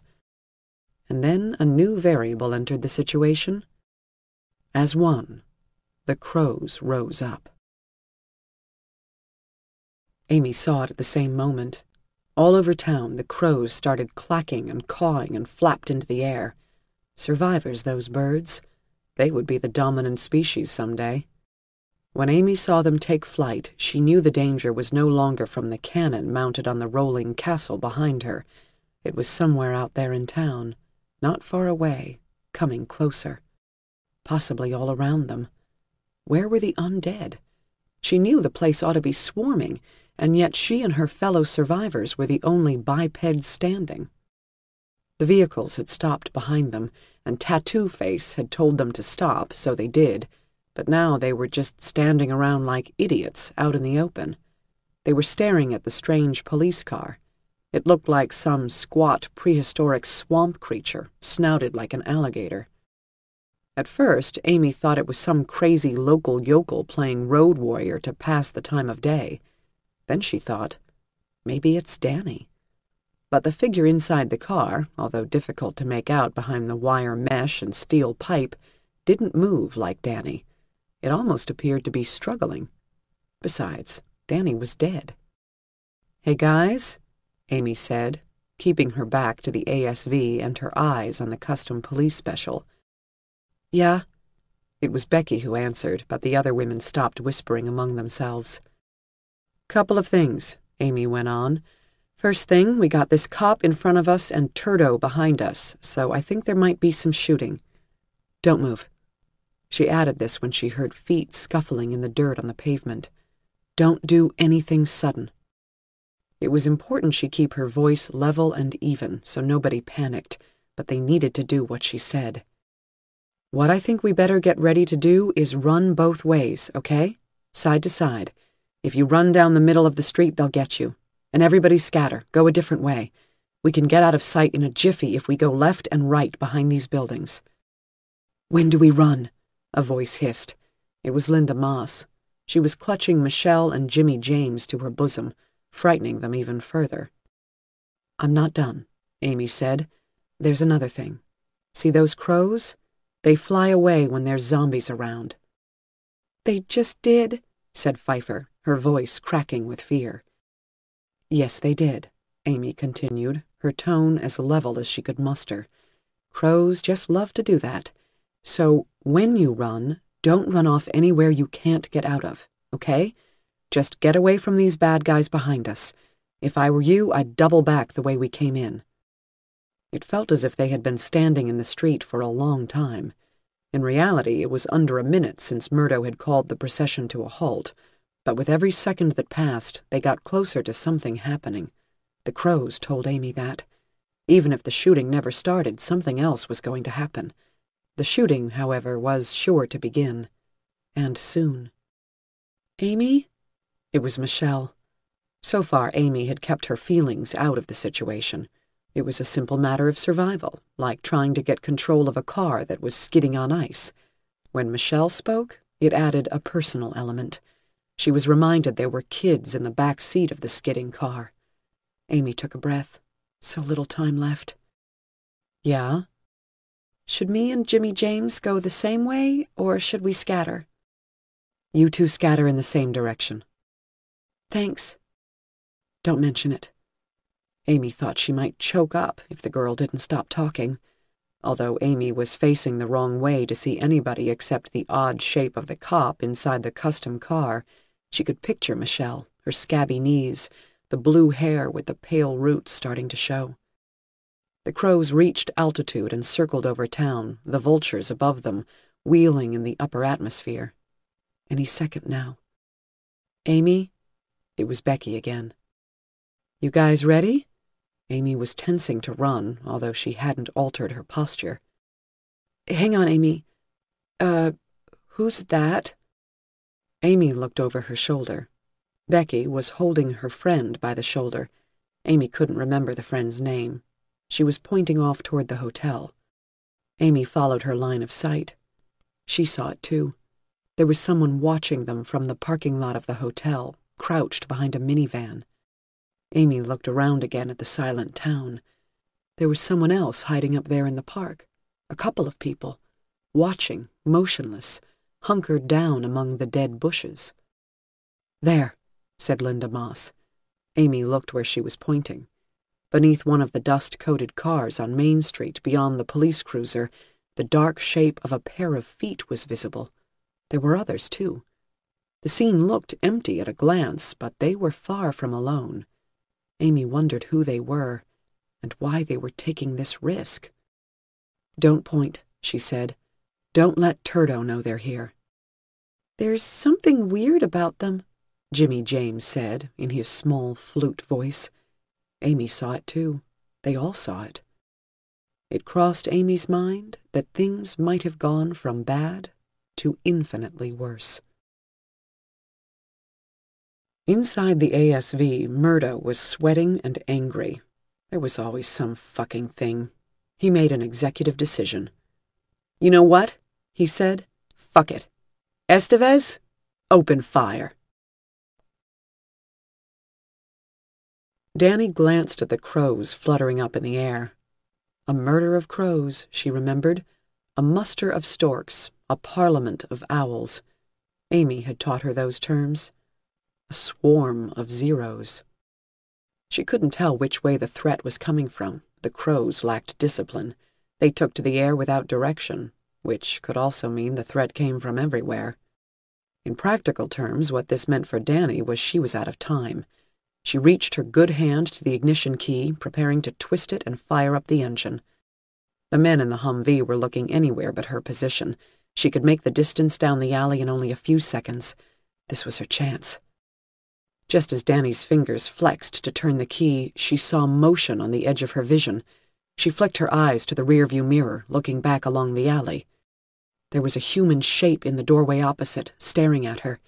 Hidden in the shadow, crouching down, still and intent, its lard-colored eyes were fixed upon Danny. Its shrunken fingers were reaching out.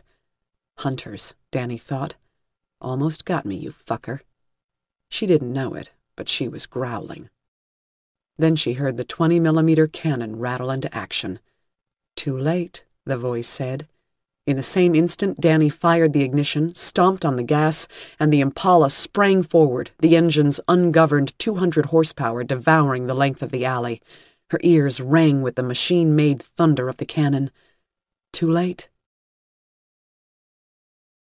The driver of the Humvee twisted his head around and saw the interceptor roaring toward him.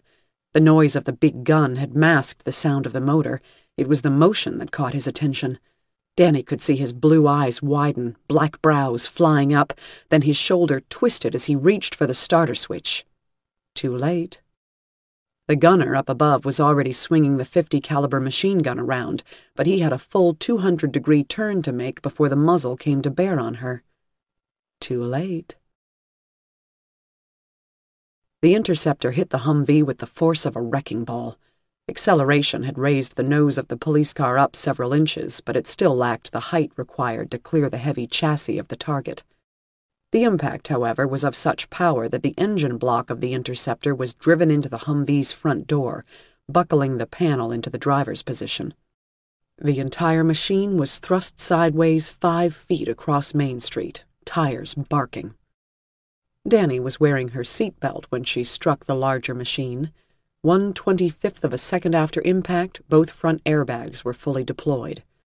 The interceptor's nose collapsed according to its design, crumpling like an accordion around the engine. Danny was hurled forward, then backward against her seat. The interceptor filled with cornstarch dust from the airbag. Small objects flew around the cabin. Danny had meticulously cleared whatever she could find from the front of the interceptor that might turn into a projectile, but there was always something. Loose change and paper clips. Every pane of glass in the interceptor shattered, bursting apart into sparkling crumbs. Danny's arms flailed helplessly on impact, human muscle incapable of resisting the G-forces generated by a sudden stop. Her hook hand slammed into the dashboard.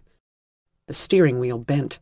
The interceptor came to a halt, puking gasoline and antifreeze from its guts. Danny's advantage was surprise. She knew what was coming.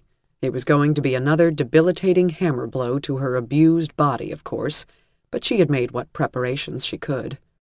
Her mind blinked on and off for a few moments after the crash, but then she was present again, looking up past the flaccid caul of the airbag and the empty windshield frame at the side of the Humvee. There was blood on the remaining glass in that vehicle, and the gunner was slumping down inside the cabin, clutching his broken face. She hadn't wasted her chance. Then the pain from her crippled hand came roaring up, and for a few seconds, Danny thought she wasn't going to be able to do anything else. The pain turned her entire side into fire and blue light, screaming. Every severed nerve in her knuckles awoke and cried out. Danny gasped, her eyes rolling, and writhed against the seatbelt. Then the wave of pain became a steady hammering, and she was back in action. The door was jammed tight. She got the belt off and crawled out of the empty window frame. Danny's legs wouldn't hold her, but she was going to have to get around behind the vehicles, because the 20 millimeter cannon up ahead would be coming around at any moment. She used the Impala for support and staggered behind it, reaching her shotgun out of the back seat. It was in working order. Time to get ill, as the saying went.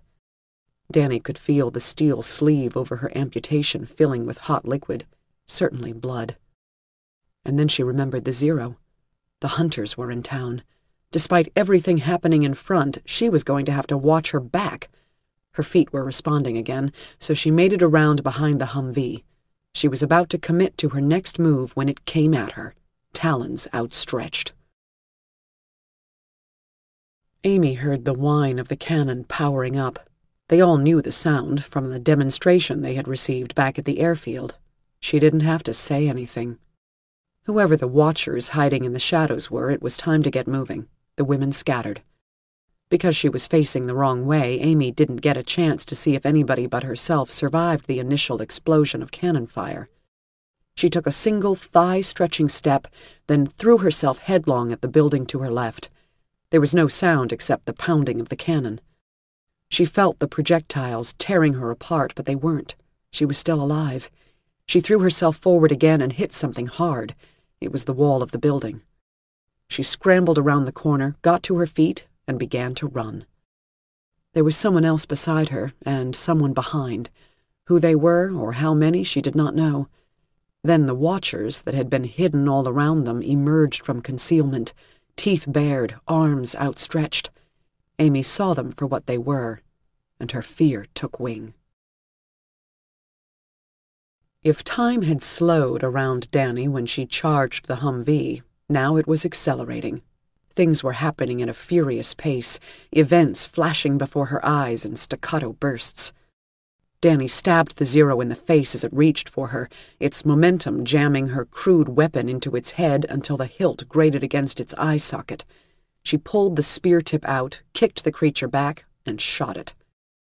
When the 20 millimeter had opened fire less than a minute before, a strange kind of emptiness had come. With the sound of the cannon came the end of Amy, the end of old ties. Danny had come back for them, and this was her penance. She had only to complete her task, as much of it as she could, before she was herself cut down or torn to pieces. Then they would have to get by without her. She would die before she was done. There was an inevitability to that. None of this was articulated in her mind. She thought only two words. Too late. They encompassed all the rest. The cannon had stopped firing after a single burst. They would know something was happening behind them now. Danny fired the shotgun twice into the Humvee. She didn't waste time aiming, but held the weapon over her head through the tailgate and pumped the trigger. Two of the undead swarmed into the cab of the Humvee as Danny got away from it, and there was the ASV ahead of her with white gun smoke drifting away in the sunlight. The periods of transition from place to place seemed not to occur. Danny was here and then there where the next thing would happen. Another of the hunting undead was behind her. She turned and fired, and the thing was thrown off its feet. Danny shoved her back against the nearest wall, then ran forward. Up past the Humvee, the ASV's cannon was swiveling around in the turret. She had to get close, below the maximum depression of the barrel. All the deserts she'd ever fought in were blending together now, all the enemies. They were all thin shadows, flickering beneath a bright, endless sun. Murdo saw the dragon's beard of cannon fire leap out over his head at the civilians, who were already scattering in every direction. The boom of the gun was deafening, a blanket of noise. One of the women, the dumpy one who cried all the time, spun and fell with her arm blown off at the shoulder. The rest were gone in a few strides. The tracers streaked down the length of Main Street, then caught the customized police cruiser. The lights on the roof exploded, red and blue plastic and shivers of chrome. The roof itself buckled and rippled with the impacts. Estevez was an artist. Chunks flew out of the tubular frame. He concentrated fire on the driver's side, and the occupant exploded. Estevez released the firing grips. There was a problem. The blood spilling out of the police car was black, not red. And now there were gunshots. Everything was happening too fast. Behind us, Murdo said, and Parker switched on the rearview camera, just in time to see the dead sheriff rushing at them with a shotgun. Parker threw the machine into reverse and powered it backward. The aft camera revealed a scene of carnage that had been masked by the roar of the cannon. The Humvee had been slammed into by a second police cruiser. Murdo understood in an instant. They'd been decoyed. They had stopped where she wanted them to stop, at the intervals she had expected, just like well-trained men. And then she fucked them up. It didn't look, from the bouncing, chaotic camera picture, as if anyone else was moving around back there. The sheriff was there in the middle of the street, and then she dropped, and the M1117 rushed over her.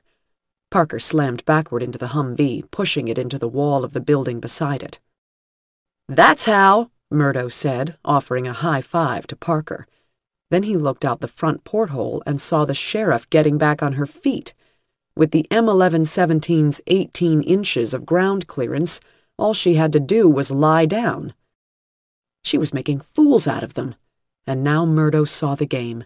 The whole thing was clear. The sheriff had friends with her, a bunch of Arabs, it looked like, dark people with white teeth. Except she was running from them, shooting at them. They were after her. Oh, fuck, Parker said. They were zeros, and they were running, loping along like apes, but fast. Estevez opened fire with the cannon, and half a dozen of the things flew apart. In the distance, the rose bushes in the park shivered and spat leaves as the rounds flew through them. The fountain in the middle of the park disintegrated. Craters appeared across the landscape, from which leaped columns of earth. Murdo had lost track of the sheriff now. She was the one. They had to stop her above all. But she seemed to have disappeared. Reload me, Estevez shouted. Then the battered wreck of the custom police cruiser on Main Street shuddered to life. A gleaming hook tore out the remains of the windshield. The sheriff was inside it, and she was going to charge them. Amy ran for her life. This way, a voice said, and because it was in her left ear, she went left. There was a black rectangle. She ran inside and slammed into something and fell. There was a bang and darkness. They were inside a building. One of the things hit the other side of the door and started hammering on the wood. Hands grabbed Amy and pulled her to her feet, and now they were running again, almost dancing between the objects inside the building storerooms and narrow corridors. It smelled of must and mildew. Then a large room with timbers overhead, dark, a million chairs and tables, tinware and cabinets. It was an antique shop, unlit except for a patch of sun on the floor that fell through the dust-clotted picture window on Main Street. Michelle and Jimmy James were with her, running ahead of her in the shop. Amy ran after them, then hesitated because she saw a strange vision through the window. The children were exhorting her to hurry up, but Amy had this vision to contend with. It was Danny out there on Main Street. Danny with a shotgun, falling, and then the massive war vehicle went straight over her and crashed into something beyond where she could see. The next thing she saw was Danny on her feet again. Amy didn't understand. It was a vision, that was all. A door crashed open elsewhere in the building, and Amy followed the children through an opening on the other side. Danny couldn't believe her luck when the police customs engine started. The gunner had concentrated his fire on the upper half of the vehicle. The power plant was intact. A couple of rounds had hit the cable-bound railroad ties on the front, but hadn't punched anything vital. The roof, however, looked like a big rumpled piece of metallic lace. The pillars that supported it were battered out of recognition. The interior was soaked in zombie guts and stank, but it wasn't the worst Danny had been through. Blood was flowing down her elbow from inside the steel amputation guard on her left hand. The spear point was bent. She had almost stabbed herself with it while clambering into the vehicle. No need to release the handcuffs with which she had bound the broken-legged zombie to the steering wheel. Its arms were still cuffed in place, but the rest of the thing was gone. With her good hand, Danny fired the shotgun twice, cleaning a couple of the fast zeros off the roof. They were prying at the metal, trying to get in. She sank the accelerator to the floor and the machine responded, picking up speed. The M1117 Guardian rolled forward, like a maddened bull accepting the challenge of a matador. Its mill-wheel-sized tires churned the dust as it sped up. The distance between the vehicles was around 200 meters. Danny had a loose idea of what she wanted to do. The hotel flashed away behind her on the left, then the parking lot where she'd found the Mustang. A Hunter Zero threw itself at her vehicle, and one of the custom overriders that projected from the railroad tie fender sank into its bony chest. The thing snapped its jaws, struggled, and was sucked under the wheels. Danny lost no speed, gathering momentum. Now the ASV was advancing fast, blotting out the sky like a battleship from her low perspective. The embankment alongside the hotel whipped past Danny next, with its ornamental steps down to the railroad station. Danny almost felt she was flying. In a few moments, they would collide. Run her the fuck down! Murdo shouted, hysterical with rage. Parker gunned the engine, and the ASV surged forward toward the chewed-up carcass of the ugly police machine. Reload me! Estevez shouted again. Hang on, bitch, Murdo shouted back. We're playing fucking chicken!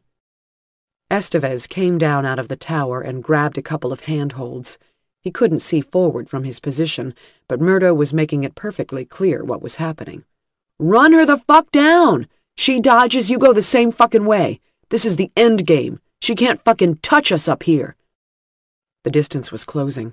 The cruiser moved out of the shadow of the hotel, then it was out in the open, revving hard along Main Street with the panoramic view of the supply train down below. When this was over, Murdo was going to power that train up and drive it to Colorado if he could.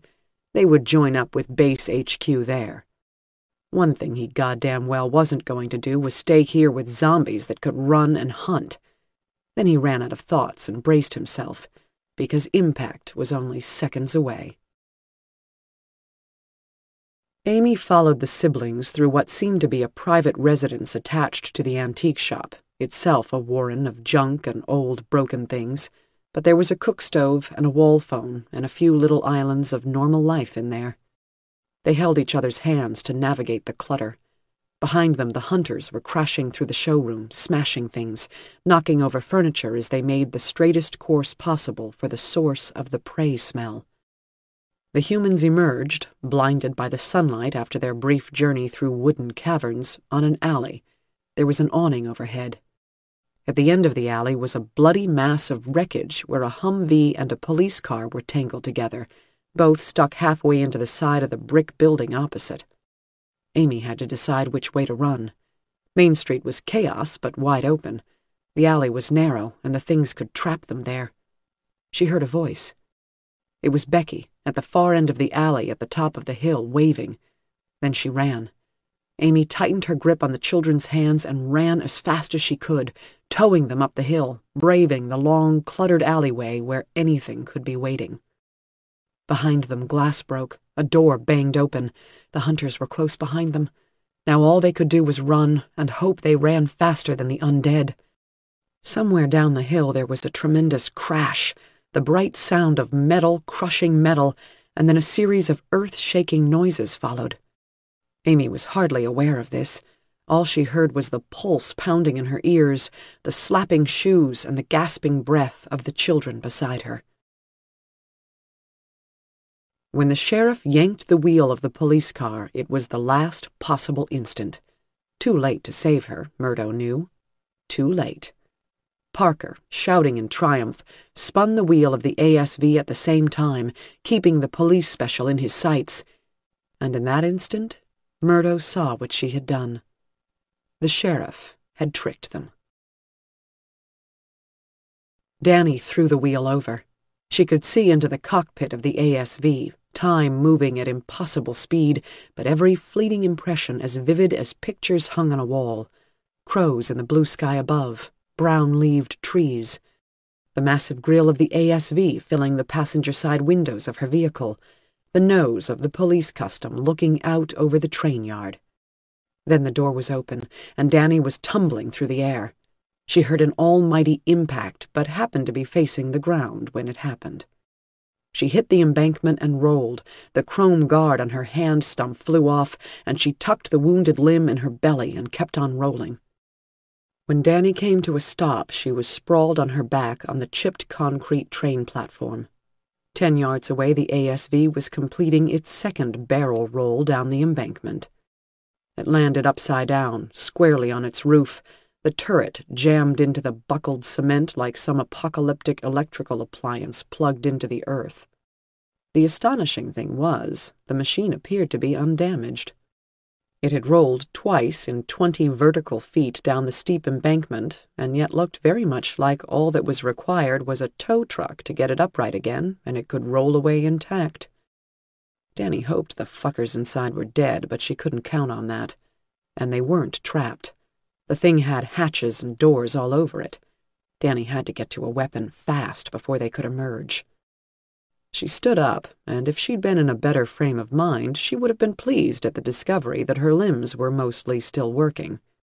She had thrown herself out of a speeding car and was pretty much uninjured, except for her hand stump, which was in trouble. The pain from that was so gigantic it was like the sound of a jackhammer. The ears went deaf from it. Her nerves were deaf from the shouting in her arm. Danny limped away down the platform, heading for the stairs. Then she saw them. Three hunters peering down over the embankment. They were watching her. Two more appeared, one of them creeping forward onto the embankment in full view. They were getting bolder. Danny heard rustling in the bushes where the embankment became hillside again. It was time to move fast. Danny decided she didn't want to go back up to Main Street after all. She ran across the platform for the dusty train, closed herself in one of the passenger cars, crouched as low as she could, and ran to the far end of the car, then slipped out the opposite door on the desert side.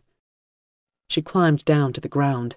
Then she limped along the tracks as fast as her aching limbs would take her, until Potter was out of view around a long geometric curve in the tracks that skirted the knee of a hulking rock formation.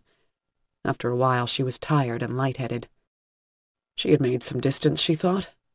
Danny sat down between the scorching hot rails, a small dark shape in the flat white salt of the desert. She let her finger stumps dribble blood on the iron of the rail. It sizzled and evaporated into little rusty coins with dark edges. The sun heliographed cryptic messages on the backs of her eyeballs. Did what I could, she thought. Then she fell over on her side and was still. 7. Murdo was the only one left alive. Estevez's skull was crushed. Parker's head was twisted almost back to front. Murdo found it ironic that Parker's enormous neck had failed him. They were all in a jumble in the upside-down cockpit of the ASV. Murdo's rage was gone. Now he was only afraid. He didn't know how Ace or Reese or Flamingo were doing, but maybe they were okay. He needed some help. Still, his luck was holding up pretty well. He had some bruises, a couple of cuts, sure, but he had survived. He was the survivor of all survivors, was Murdo.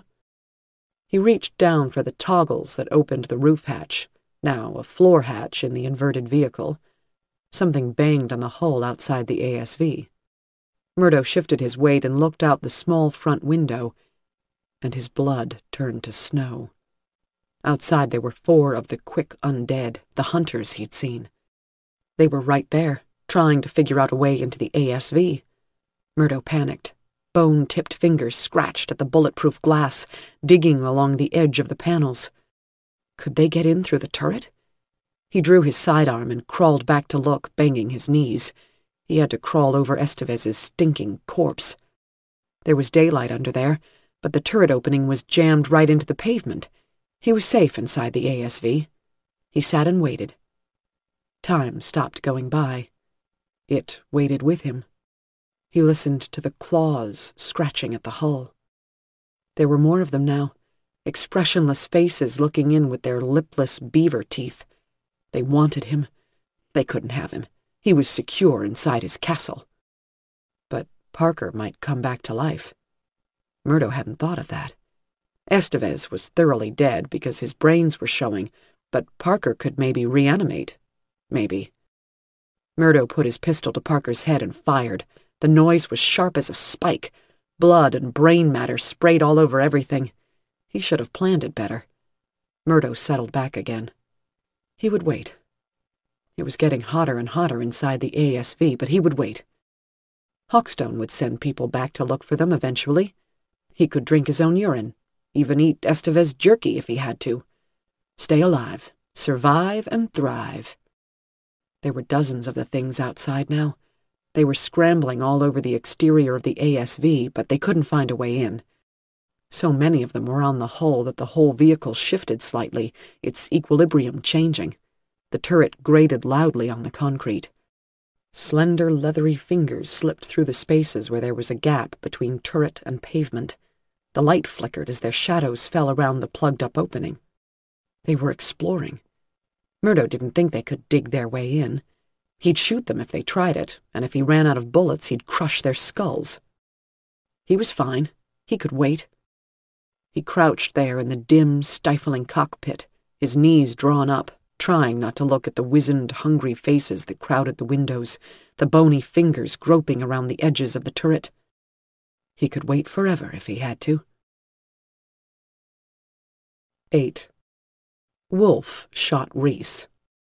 The Hawkstone mercenary had been perched on the roof of the RV, watching the progress of his comrades through binoculars. He had no idea that Danny's entire squad of hardened survivors was behind him, watching him in turn from vantage points up the hill. Gunfire erupted down in Potter, and Reese picked up his AR-15 rifle. He put the scope to his eye, searching for targets.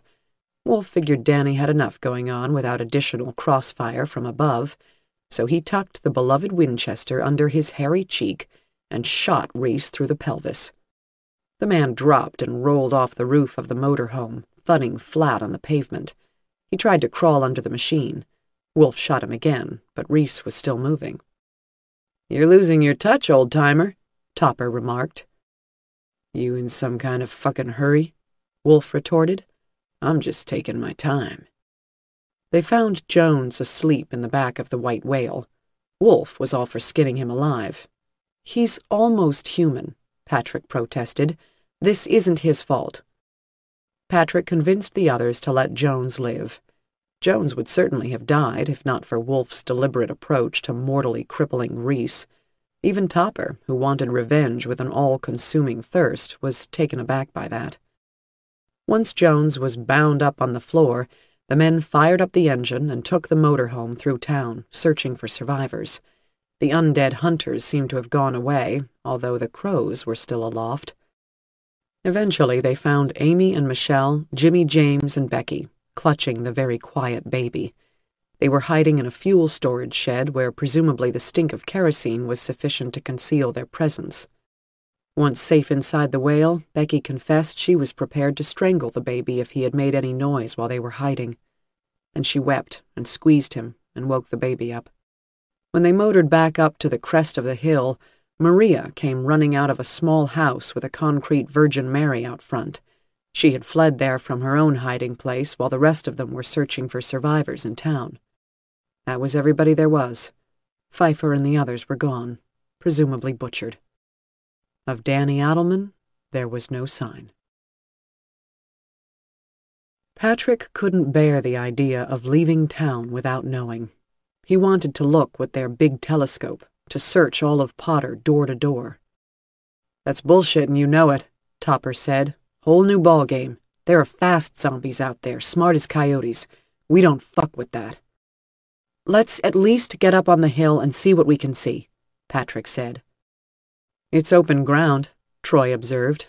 Let's do what Patrick says. If those things try to get after us, we'll see 'em coming and we'll split. They agreed to delay for 20 minutes.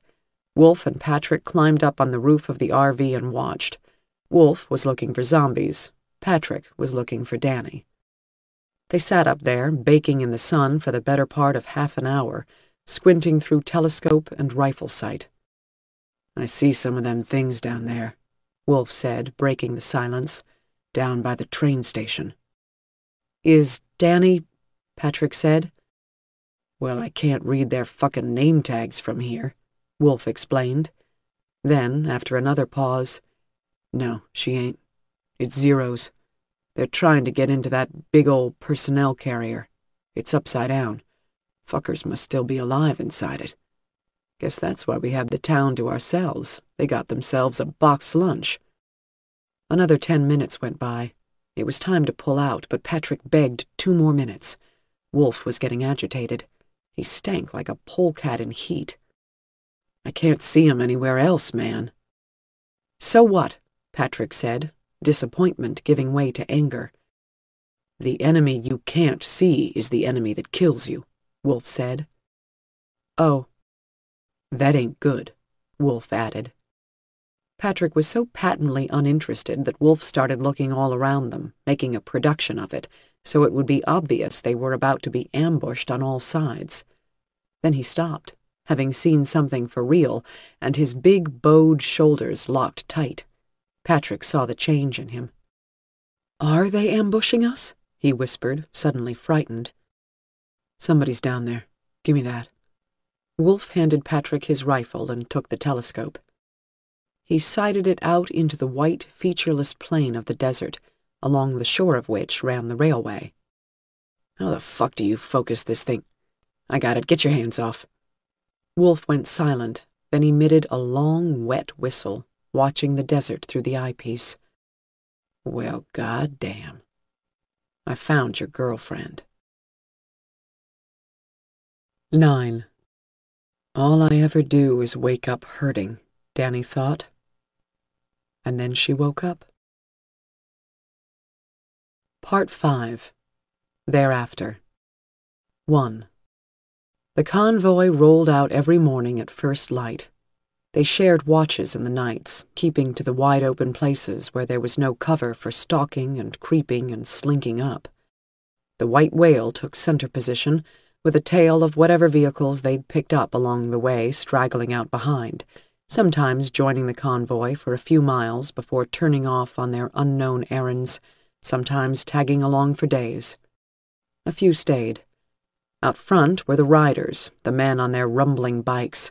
A dangerous way to travel, but they were the eyes and ears. They could smell things, too, and darted like bees into the promising flowers to see if there was nectar to be had. Big box stores with cracked parking lots from which weeds and bushes were beginning to rise. Downtowns of lost villages, sometimes long roads that left the main ways and disappeared into mountains or valleys where small populations of men could still be found, living in ways their ancestors would have understood. close to the land, no longer the top of the food chain. In the lead of the convoy, before even the bikers, was the Interceptor. It was the third and best of them so far. They had the construction of the exoskeleton sorted out. It was rigid, but didn't add too much weight. The front fender was a wedge of steel with teeth cut into its leading edge. This caught the Zeros and pulled them under the vehicle rather than throwing them up over the hood. Frames strung with piano wire protected the windows. Sheriff Adelman rode up there in the Interceptor. Sometimes she would take a passenger, Patrick or Dr. Amy or one of the other long-timers, but often she drove on alone, the wind rustling the choppy red hair beneath her smoky hat. She seemed to have an inexhaustible supply of those hats. The convoy foraged to survive. There was so much unconsumed stuff out there in the countryside, food and supplies and needed things all embalmed in preservatives, bound in plastic and vacuum packs and cans and packets, hermetically sealed so it stayed good for damn near ever, regardless of the use-by date on the bottom. Those dates were slipping behind them now. You could get laid for a piece of fruit. Fresh things were best, but Adelman had her rules. You rode with her, you lived by them.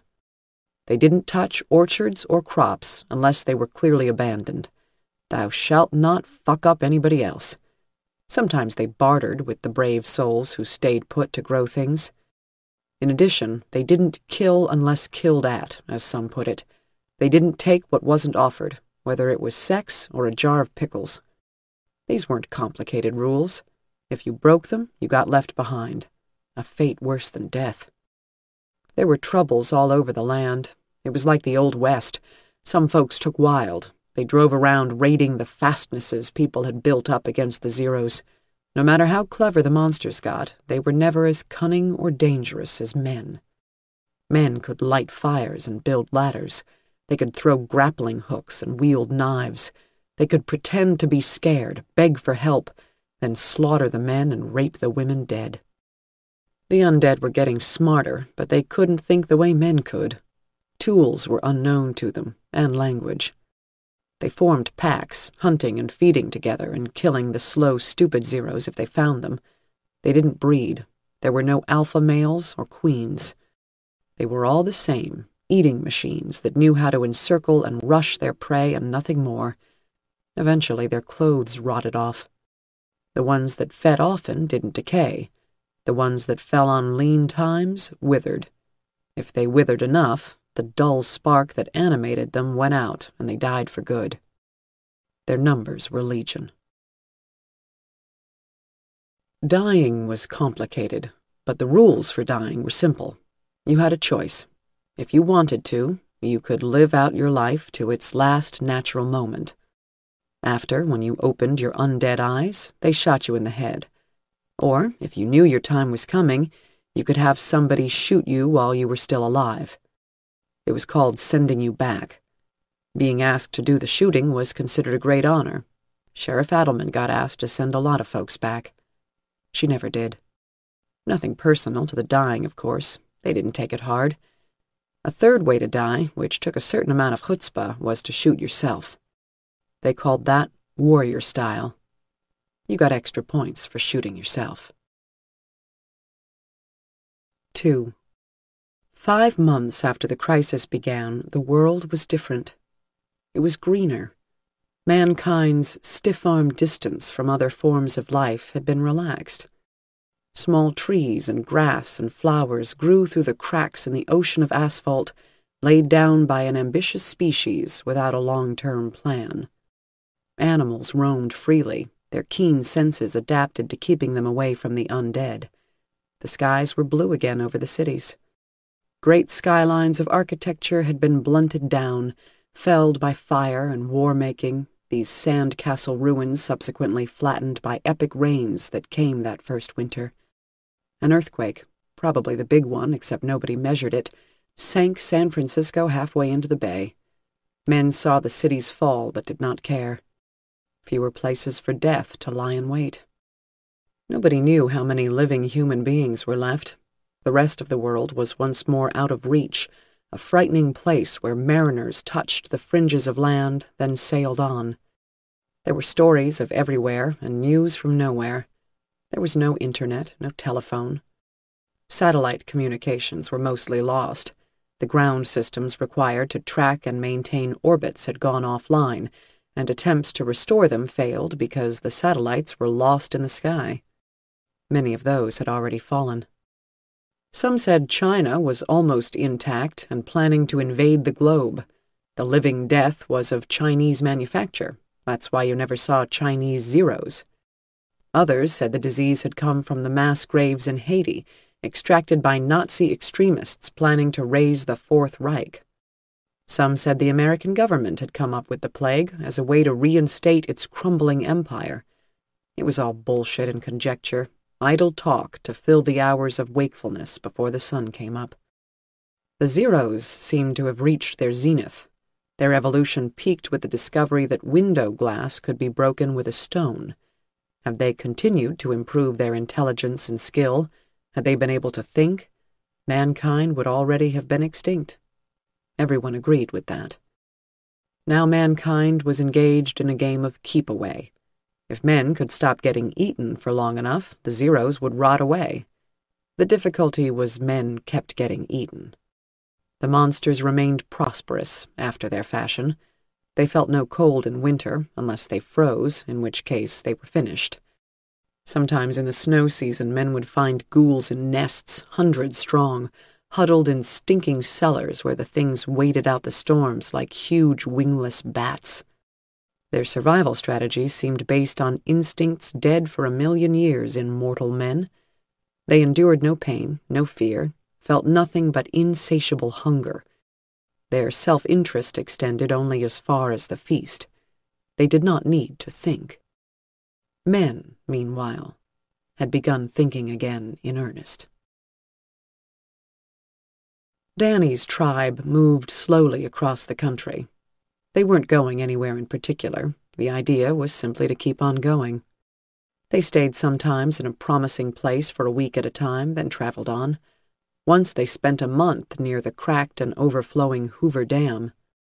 There was always something to move their band along. The Zeros would get thicker in the area, or the survivors would hear rumors of an army of men coming, cannibals that styled themselves after the undead, or destroyers, or zealots. The zealots angered Danny the most. The destroyers were hordes of nihilistic gangs that wrecked and killed and burned because, in their estimation, what was left of the world was trash anyway. They engaged the Zeros in pitched battles and helped feed their numbers, suffering bites and infections that left the dying scattered along the roads. When Danny found them, they would be taken in and cared for until it was time to make the choice. The rest wandered off to die and came back ravening. The Zealots believed the world was supposed to be like this. It was their beloved end times, and the hand of God was upon the land. They grew strong on their heady brand of magic, writing new chapters to append to the old Bible, full of portents and signs. They had rules, too, but their rules were arcane and punitive and cruel. Danny would find their victims nailed to crosses or burned at the stake. The living flocked to these preachers of death, who seemed to flourish more the worse things got. Danny might not have resented them if it was not for their insistence that joy and pleasure were abominations, as if God would relent only when the last smile was wiped from the last child's lips. Most of them didn't even allow music. The ones who did favored dirges and laments.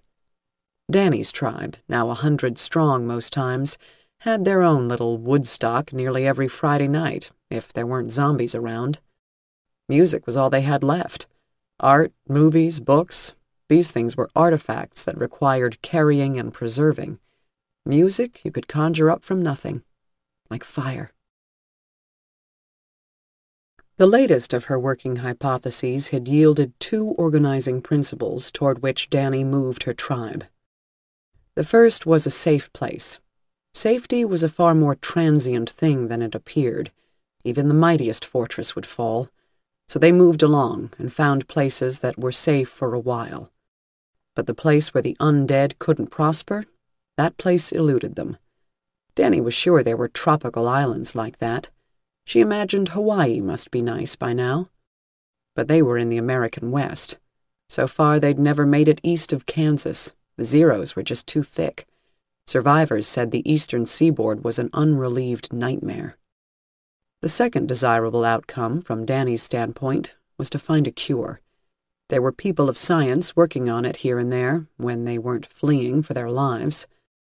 The virus that caused zombieism was known. It had a number. Some said it was surely a virus engineered to do what it did, a combination of this and that, until a perfectly lethal sickness was invented, not only deadly, but wicked. It was said that the virus was part mosquito, for the sense of smell, part hantavirus for its ability to amplify so rapidly through the host. Other things. Rabies, eye of newt, it didn't matter. So far, there was no cure and no vaccine to immunize the living. Some people were born immune. Others carried the sickness inside them but did not sicken. Some got bitten, sickened, and survived. They were so few. In the spring, Danny's tribe picked up the trail of a larger band of people, run with fairness according to homesteaders who encountered them in the occasional fortified settlements they passed. The larger band, calling themselves the Rovers, had their own set of rules and ran things along military lines. Discipline was tight, but it wasn't arbitrary. They were doing pretty well, folks said.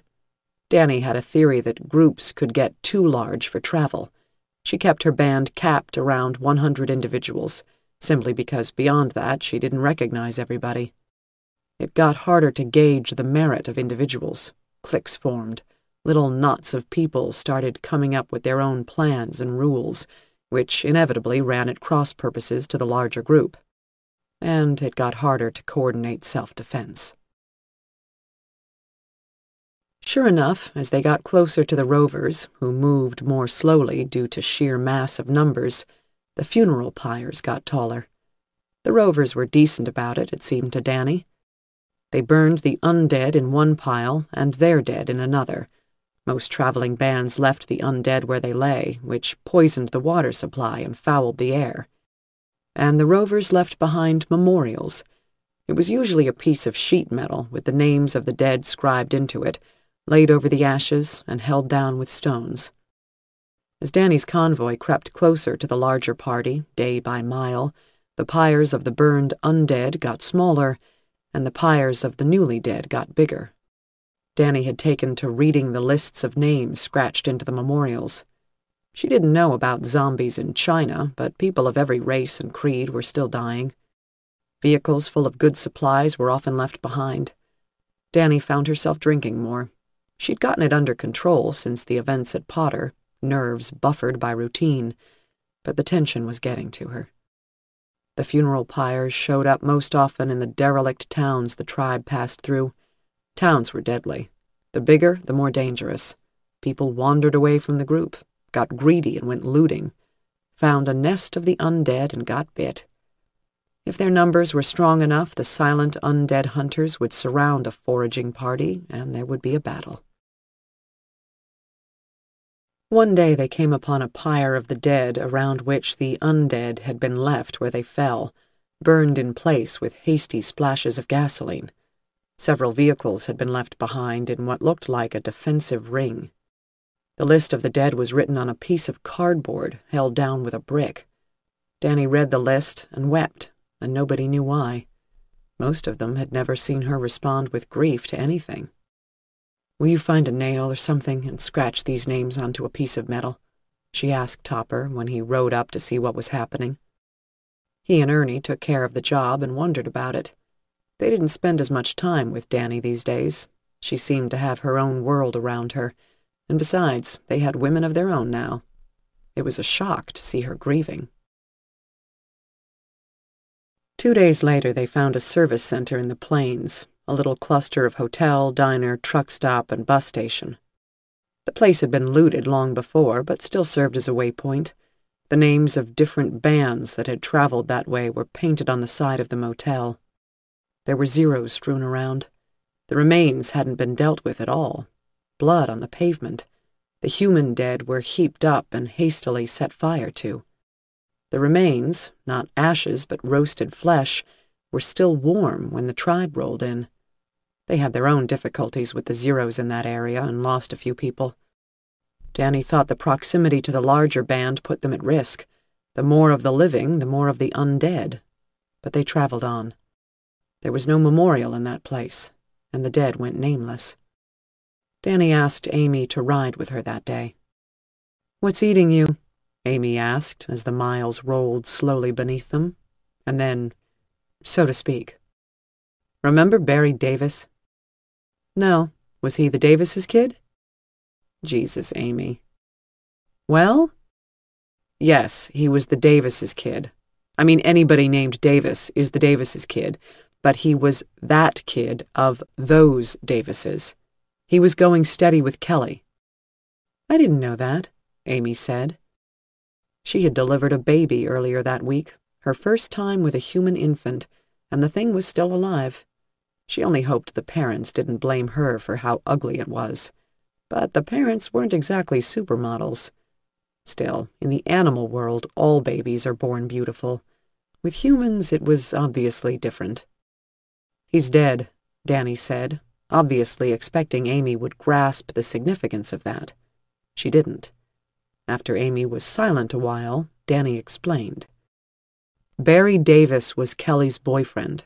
Her real one, not all the imaginary ones I thought she had. He's in the note. They left Forest Peak together the morning everything went to shit. No way. Yes way. They drove in silence for a while. Do you like that guy in the old Toyota, the one who makes the guitars? Danny said. He's okay, Amy replied. The silence wore on. Remember that place where we found the ashes marked with cardboard? Danny said after a while. Yeah, you cried. Amy saw where Danny was going with the Barry Davis thing, and she didn't want to get into it. Danny had put her Kelly period behind her, although she still kept the filthy, tattered note in a plastic bag next to her heart. She was looking to the future again, even if she had no personal plans. The tribe gave her something to do, something to perpetuate. If Danny got thinking about the past, she was going to end up crazy and alone again. The thing is, Danny said, there was a Barry Davis on that list back there. It's not an unusual name, Amy protested. If he was like Barry Hashimoto, maybe, or Mogambo Davis. Still, it would explain why Danny was allowing the convoy to get closer to the rovers rather than falling back, as was her custom. She had found out the hard way that traveling bands of men don't mingle well. They're glad to meet, but once the drink flows, they're quick to fight.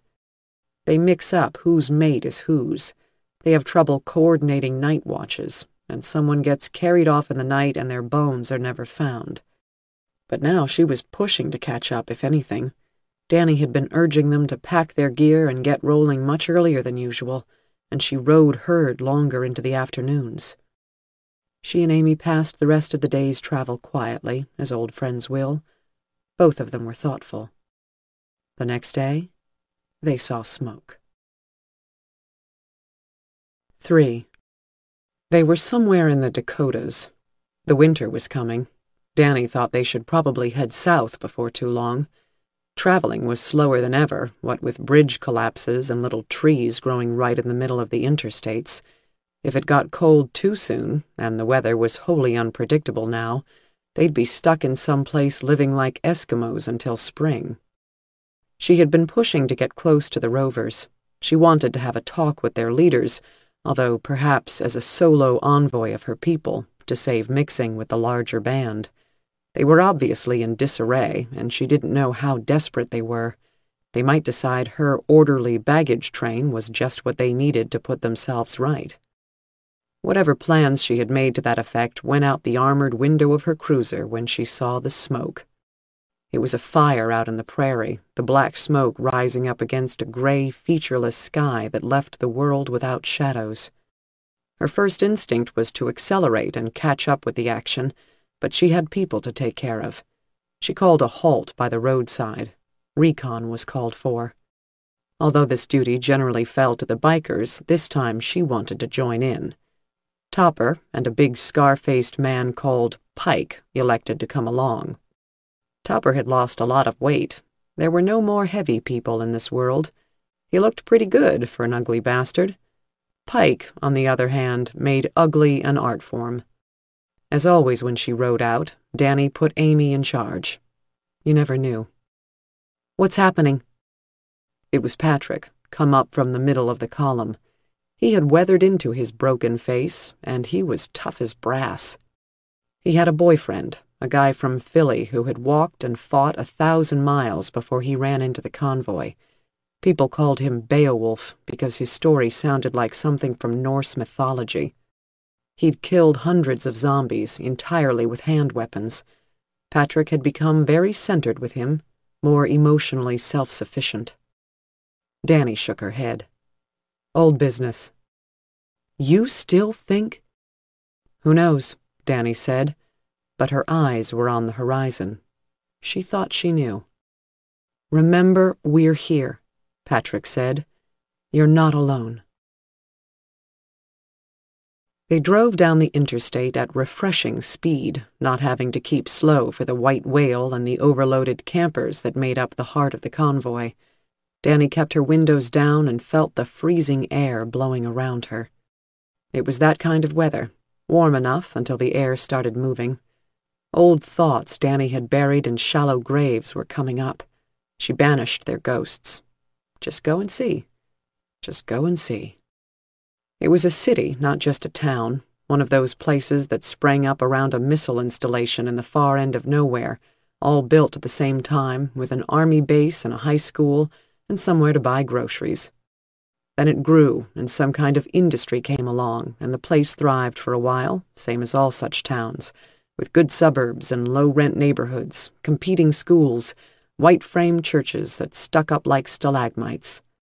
Then the downturn came, and the place shriveled until it was half empty at best. Then the dead rose up, and now the city was empty altogether. They stopped at the only high place around, an overpass on the interstate where a local farm road passed beneath. Pike's motorcycle was a rat bike, a monstrous rusting piece of ironwork with scythe blades on the wheel hubs and ape hanger handlebars, a scrap metal beast. Topper rode a stock 75 Harley boattail he'd liberated from an abandoned garage. They swapped a pair of binoculars back and forth. Nothing moved but the flames, so they followed the smoke. The heart of the city was on fire. On the outskirts of town, they found burning vehicles and signs of recent combat. Brass cartridges and incongruously colorful plastic shotgun casings were strewn around street corners where pitched battles had been waged. Vivid gore stood out in contrast to the drab masonry and faded tar. There were trails of blood, as if the pavement had been swabbed with blood-soaked mops. The bloodstains led toward the inner city, not away from it. Danny called off the search after only a few blocks. Whatever had happened here, it was only hours past. It looked like two competing nomadic groups had clashed. The tells of the fighting did not bear any resemblance to the pattern of Zero assaults. This had been a two-sided confrontation lasting at least several minutes. The conflict had clearly been pressed from street to street. The undead didn't fight, they attacked. Lightly armed, Danny and her two companions were not going to profit from a chance encounter with either of the competing sides. As they made their way out of the city, they saw zombie blood. It was spattered on the ground and on the wall of desolate buildings. The fallen undead had been dragged away as well. With that, Danny was familiar. It was the mark of the rovers. Why then were those bodies dragged in the opposite direction from the red-blooded corpses of the recently alive? She and her companions followed the drag marks to where the black blood formed pools, after which the signs ended. The zombie remains had probably been loaded into a vehicle. Now that she had her back to the fire in the city, Danny could see a blurred finger of smoke rising from a suburb to the east. She consulted with Topper and Pike on whether they should pursue the matter, and the men said yes, because they could hear the urgency in Danny's voice. Got nowhere else to be, Topper said. They came to a broad concrete plaza overlooked by a jolly sheet metal clown. It was the entrance to a small amusement park. The plaza was surrounded by acres of parking.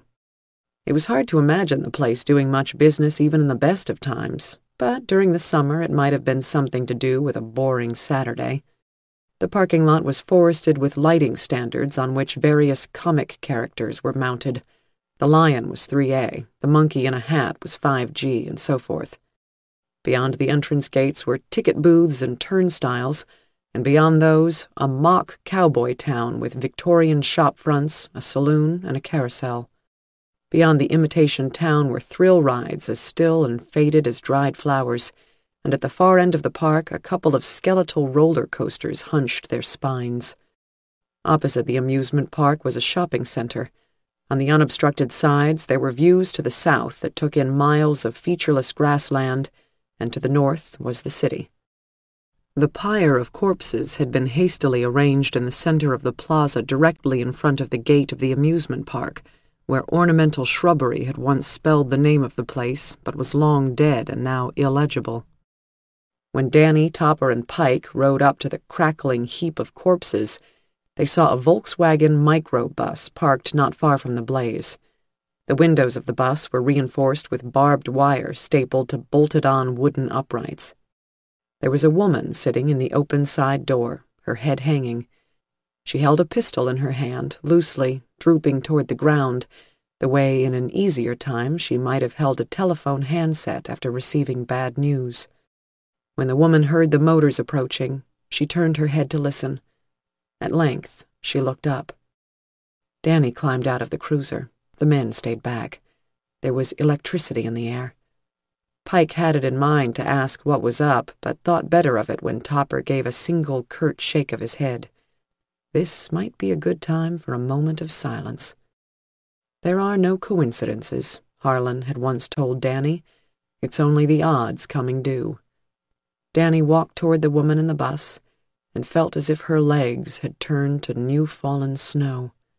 They didn't feel substantial enough to hold her off the ground, but they kept moving, and she kept getting closer. And then they met. I got your note, Danny said. The men left them and went back to the convoy to deliver the news. The sheriff would be away for a few days. She was fine. She was dandy, in fact. But she had some family business to take care of. Sure, she'd catch up. Meanwhile, the doctor was in charge. Most folks didn't know the significance of this intelligence. Amy wanted to go to them right away, but Topper insisted. Danny had been very clear on the point.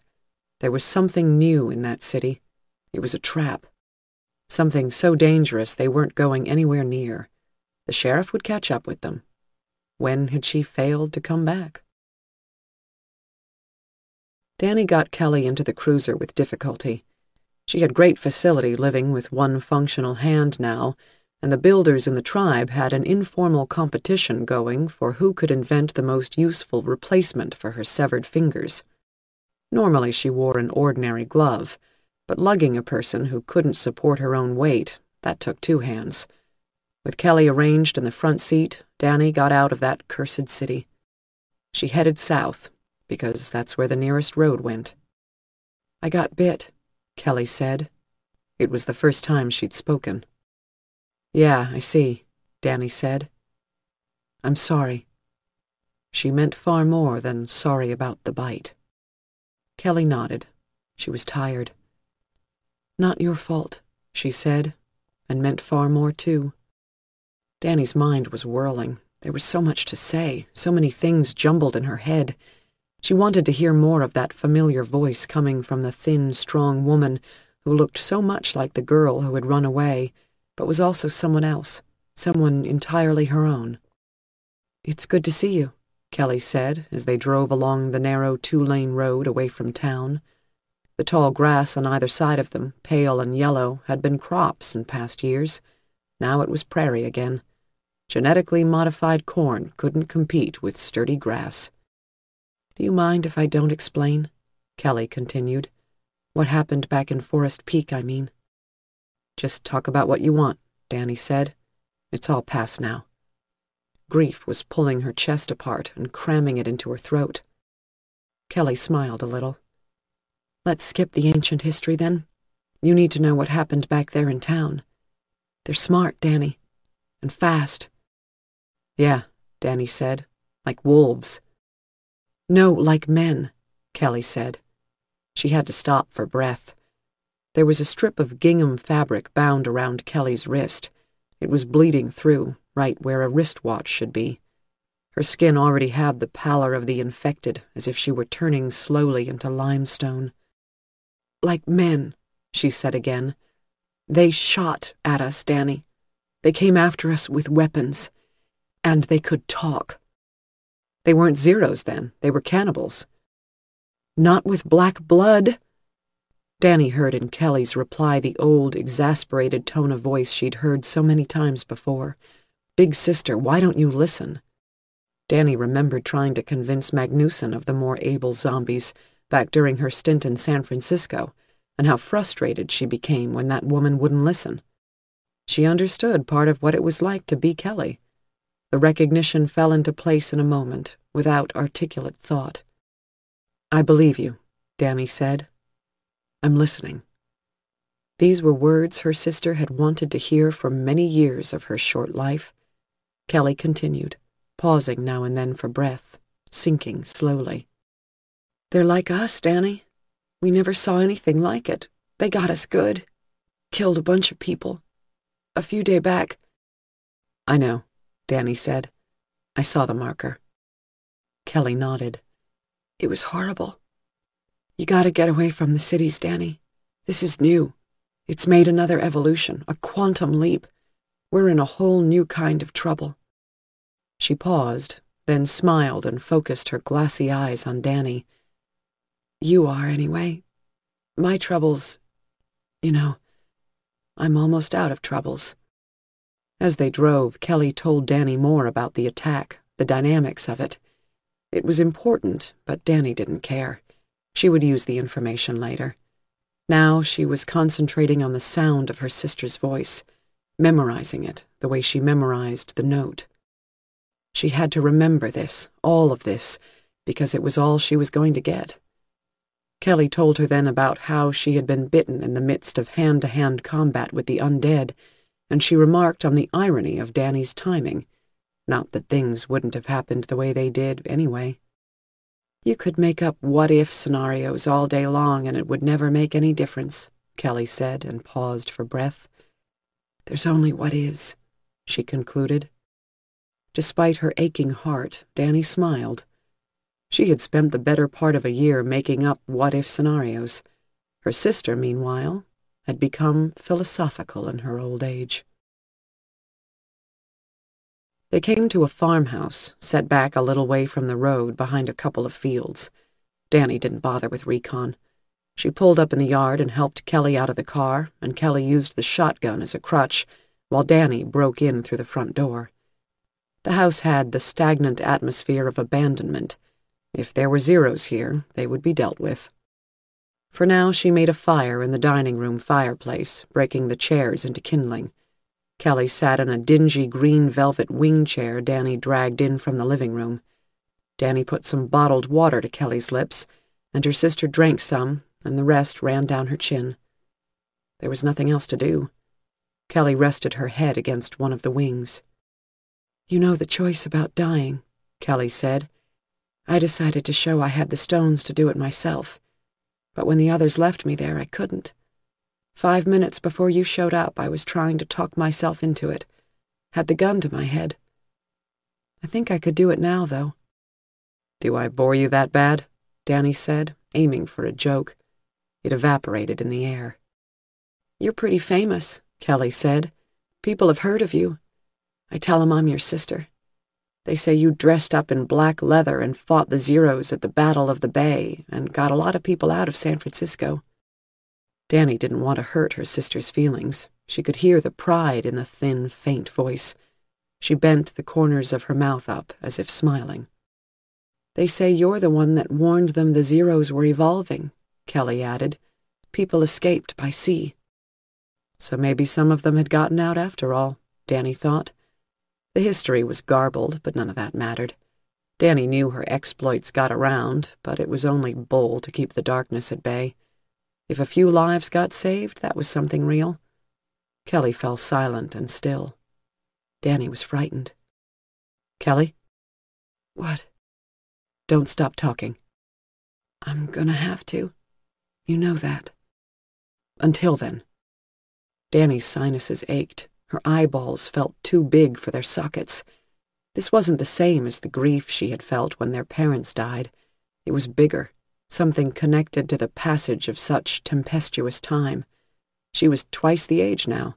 There was so much more to be atoned for. Maybe you're immune, she said. Kelly lifted her good hand an inch above the arm of the chair, the closest she could get to a dismissive gesture. Don't go there. So, Danny said, trying to think of what they needed to catch up on before they parted ways. Uh, you had the same boyfriend this whole time. Barry. Did you guys... I mean, were you in love? Nah. It was good to know somebody, though. And this whole time you traveled with the Rovers? After they formed up. We were with some people before that. You know, just fighting and staying awake. I'm so tired now. I could really sleep. Sleep later, Danny said. Kelly didn't answer. Danny felt the panic come back. She was kneeling in front of Kelly now, watching. The gun was in Kelly's lap. It slipped, and Danny tried to catch it, but with her left hand. The gun bounced off her truncated palm and hit the floor. Kelly opened her eyes again. Danny? she said. I'm right here, Danny said. Kelly's eyes drifted around and found her. It's getting dark. I'm right here with you. It was afternoon. The sun came through the windows at a low angle, reaching from the front of the house into the back, the light creamy with dust motes. It would be getting dark soon, but Kelly was staring into a different kind of darkness. There were so many things Danny wanted to say, but as always, when it mattered, she couldn't figure out how to assemble the words. She held Kelly's unbitten hand in her own hand and tried to squeeze some warmth into the icy fingers. All she wanted was a single sentence to come together so she could say everything she felt to Kelly, some way to express her gratitude and sorrow and love. Her mind was racing. She had to think of the words. All her skill at coming up with plans and stratagems on the fly, reacting like lightning no matter what happened, and here she couldn't come up with a simple statement that folded all the important things up into a small bundle Kelly could take with her when she went away. Then it occurred to her. It was so obvious she hadn't thought of it. I love you, she said.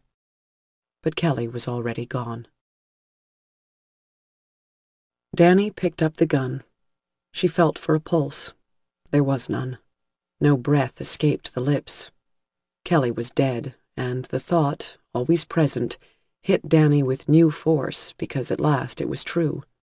Danny fell back on her haunches and looked up at her sister's corpse, face slack, head tipped into the corner of the chair, as if Kelly had only fallen asleep in the car with her head against the back seat window, the way she often did when she was a small girl. She had fallen asleep like that when they drove down to the go-kart place in the flatlands for Kelly's birthday. She had graduated to the front seat by then. Danny wished she could take her sister somewhere again. She wished everything, more wishes than fishes, more wishes than stars, as their mother had said an eternity ago in a different world. The wishes collapsed into tears, and Danny fell forward and sobbed in her sister's lap, a lifetime of scalding, unshed tears pouring from her eyes. But there was no time for grieving any more. It was that kind of world. Danny scrubbed her face on her sleeve, smearing the wet from her eyes and nose. The first of the three choices had already passed. Kelly lived until she died. Danny could shoot her sister's corpse in the head while she was still in the brief, blessed death between, or she could wait until reanimation. Danny thought it would be best if she pulled the trigger on the lifeless shell rather than executing the alien, deadly thing her sister would become. It was time. She cocked the gun with her stump hand and looked up once more at her sister. Too late, said the voice in Danny's head. Always too late. The second choice had also passed. That leaden look had come to the flesh. The undead eyes opened, murky and dull. They wandered, then located Danny and fixed upon her. Danny raised the pistol and placed it up under her sister's chin. Kelly's slate-gray lips parted and spoke. I'm still me, she whispered. This concludes Rise Again. Please visit our website, www.tantor.com, for more information on our growing library of unabridged audiobooks and to take advantage of special offers. Or call toll free 877 7 Tantor to request a catalog. Audible hopes you have enjoyed this program.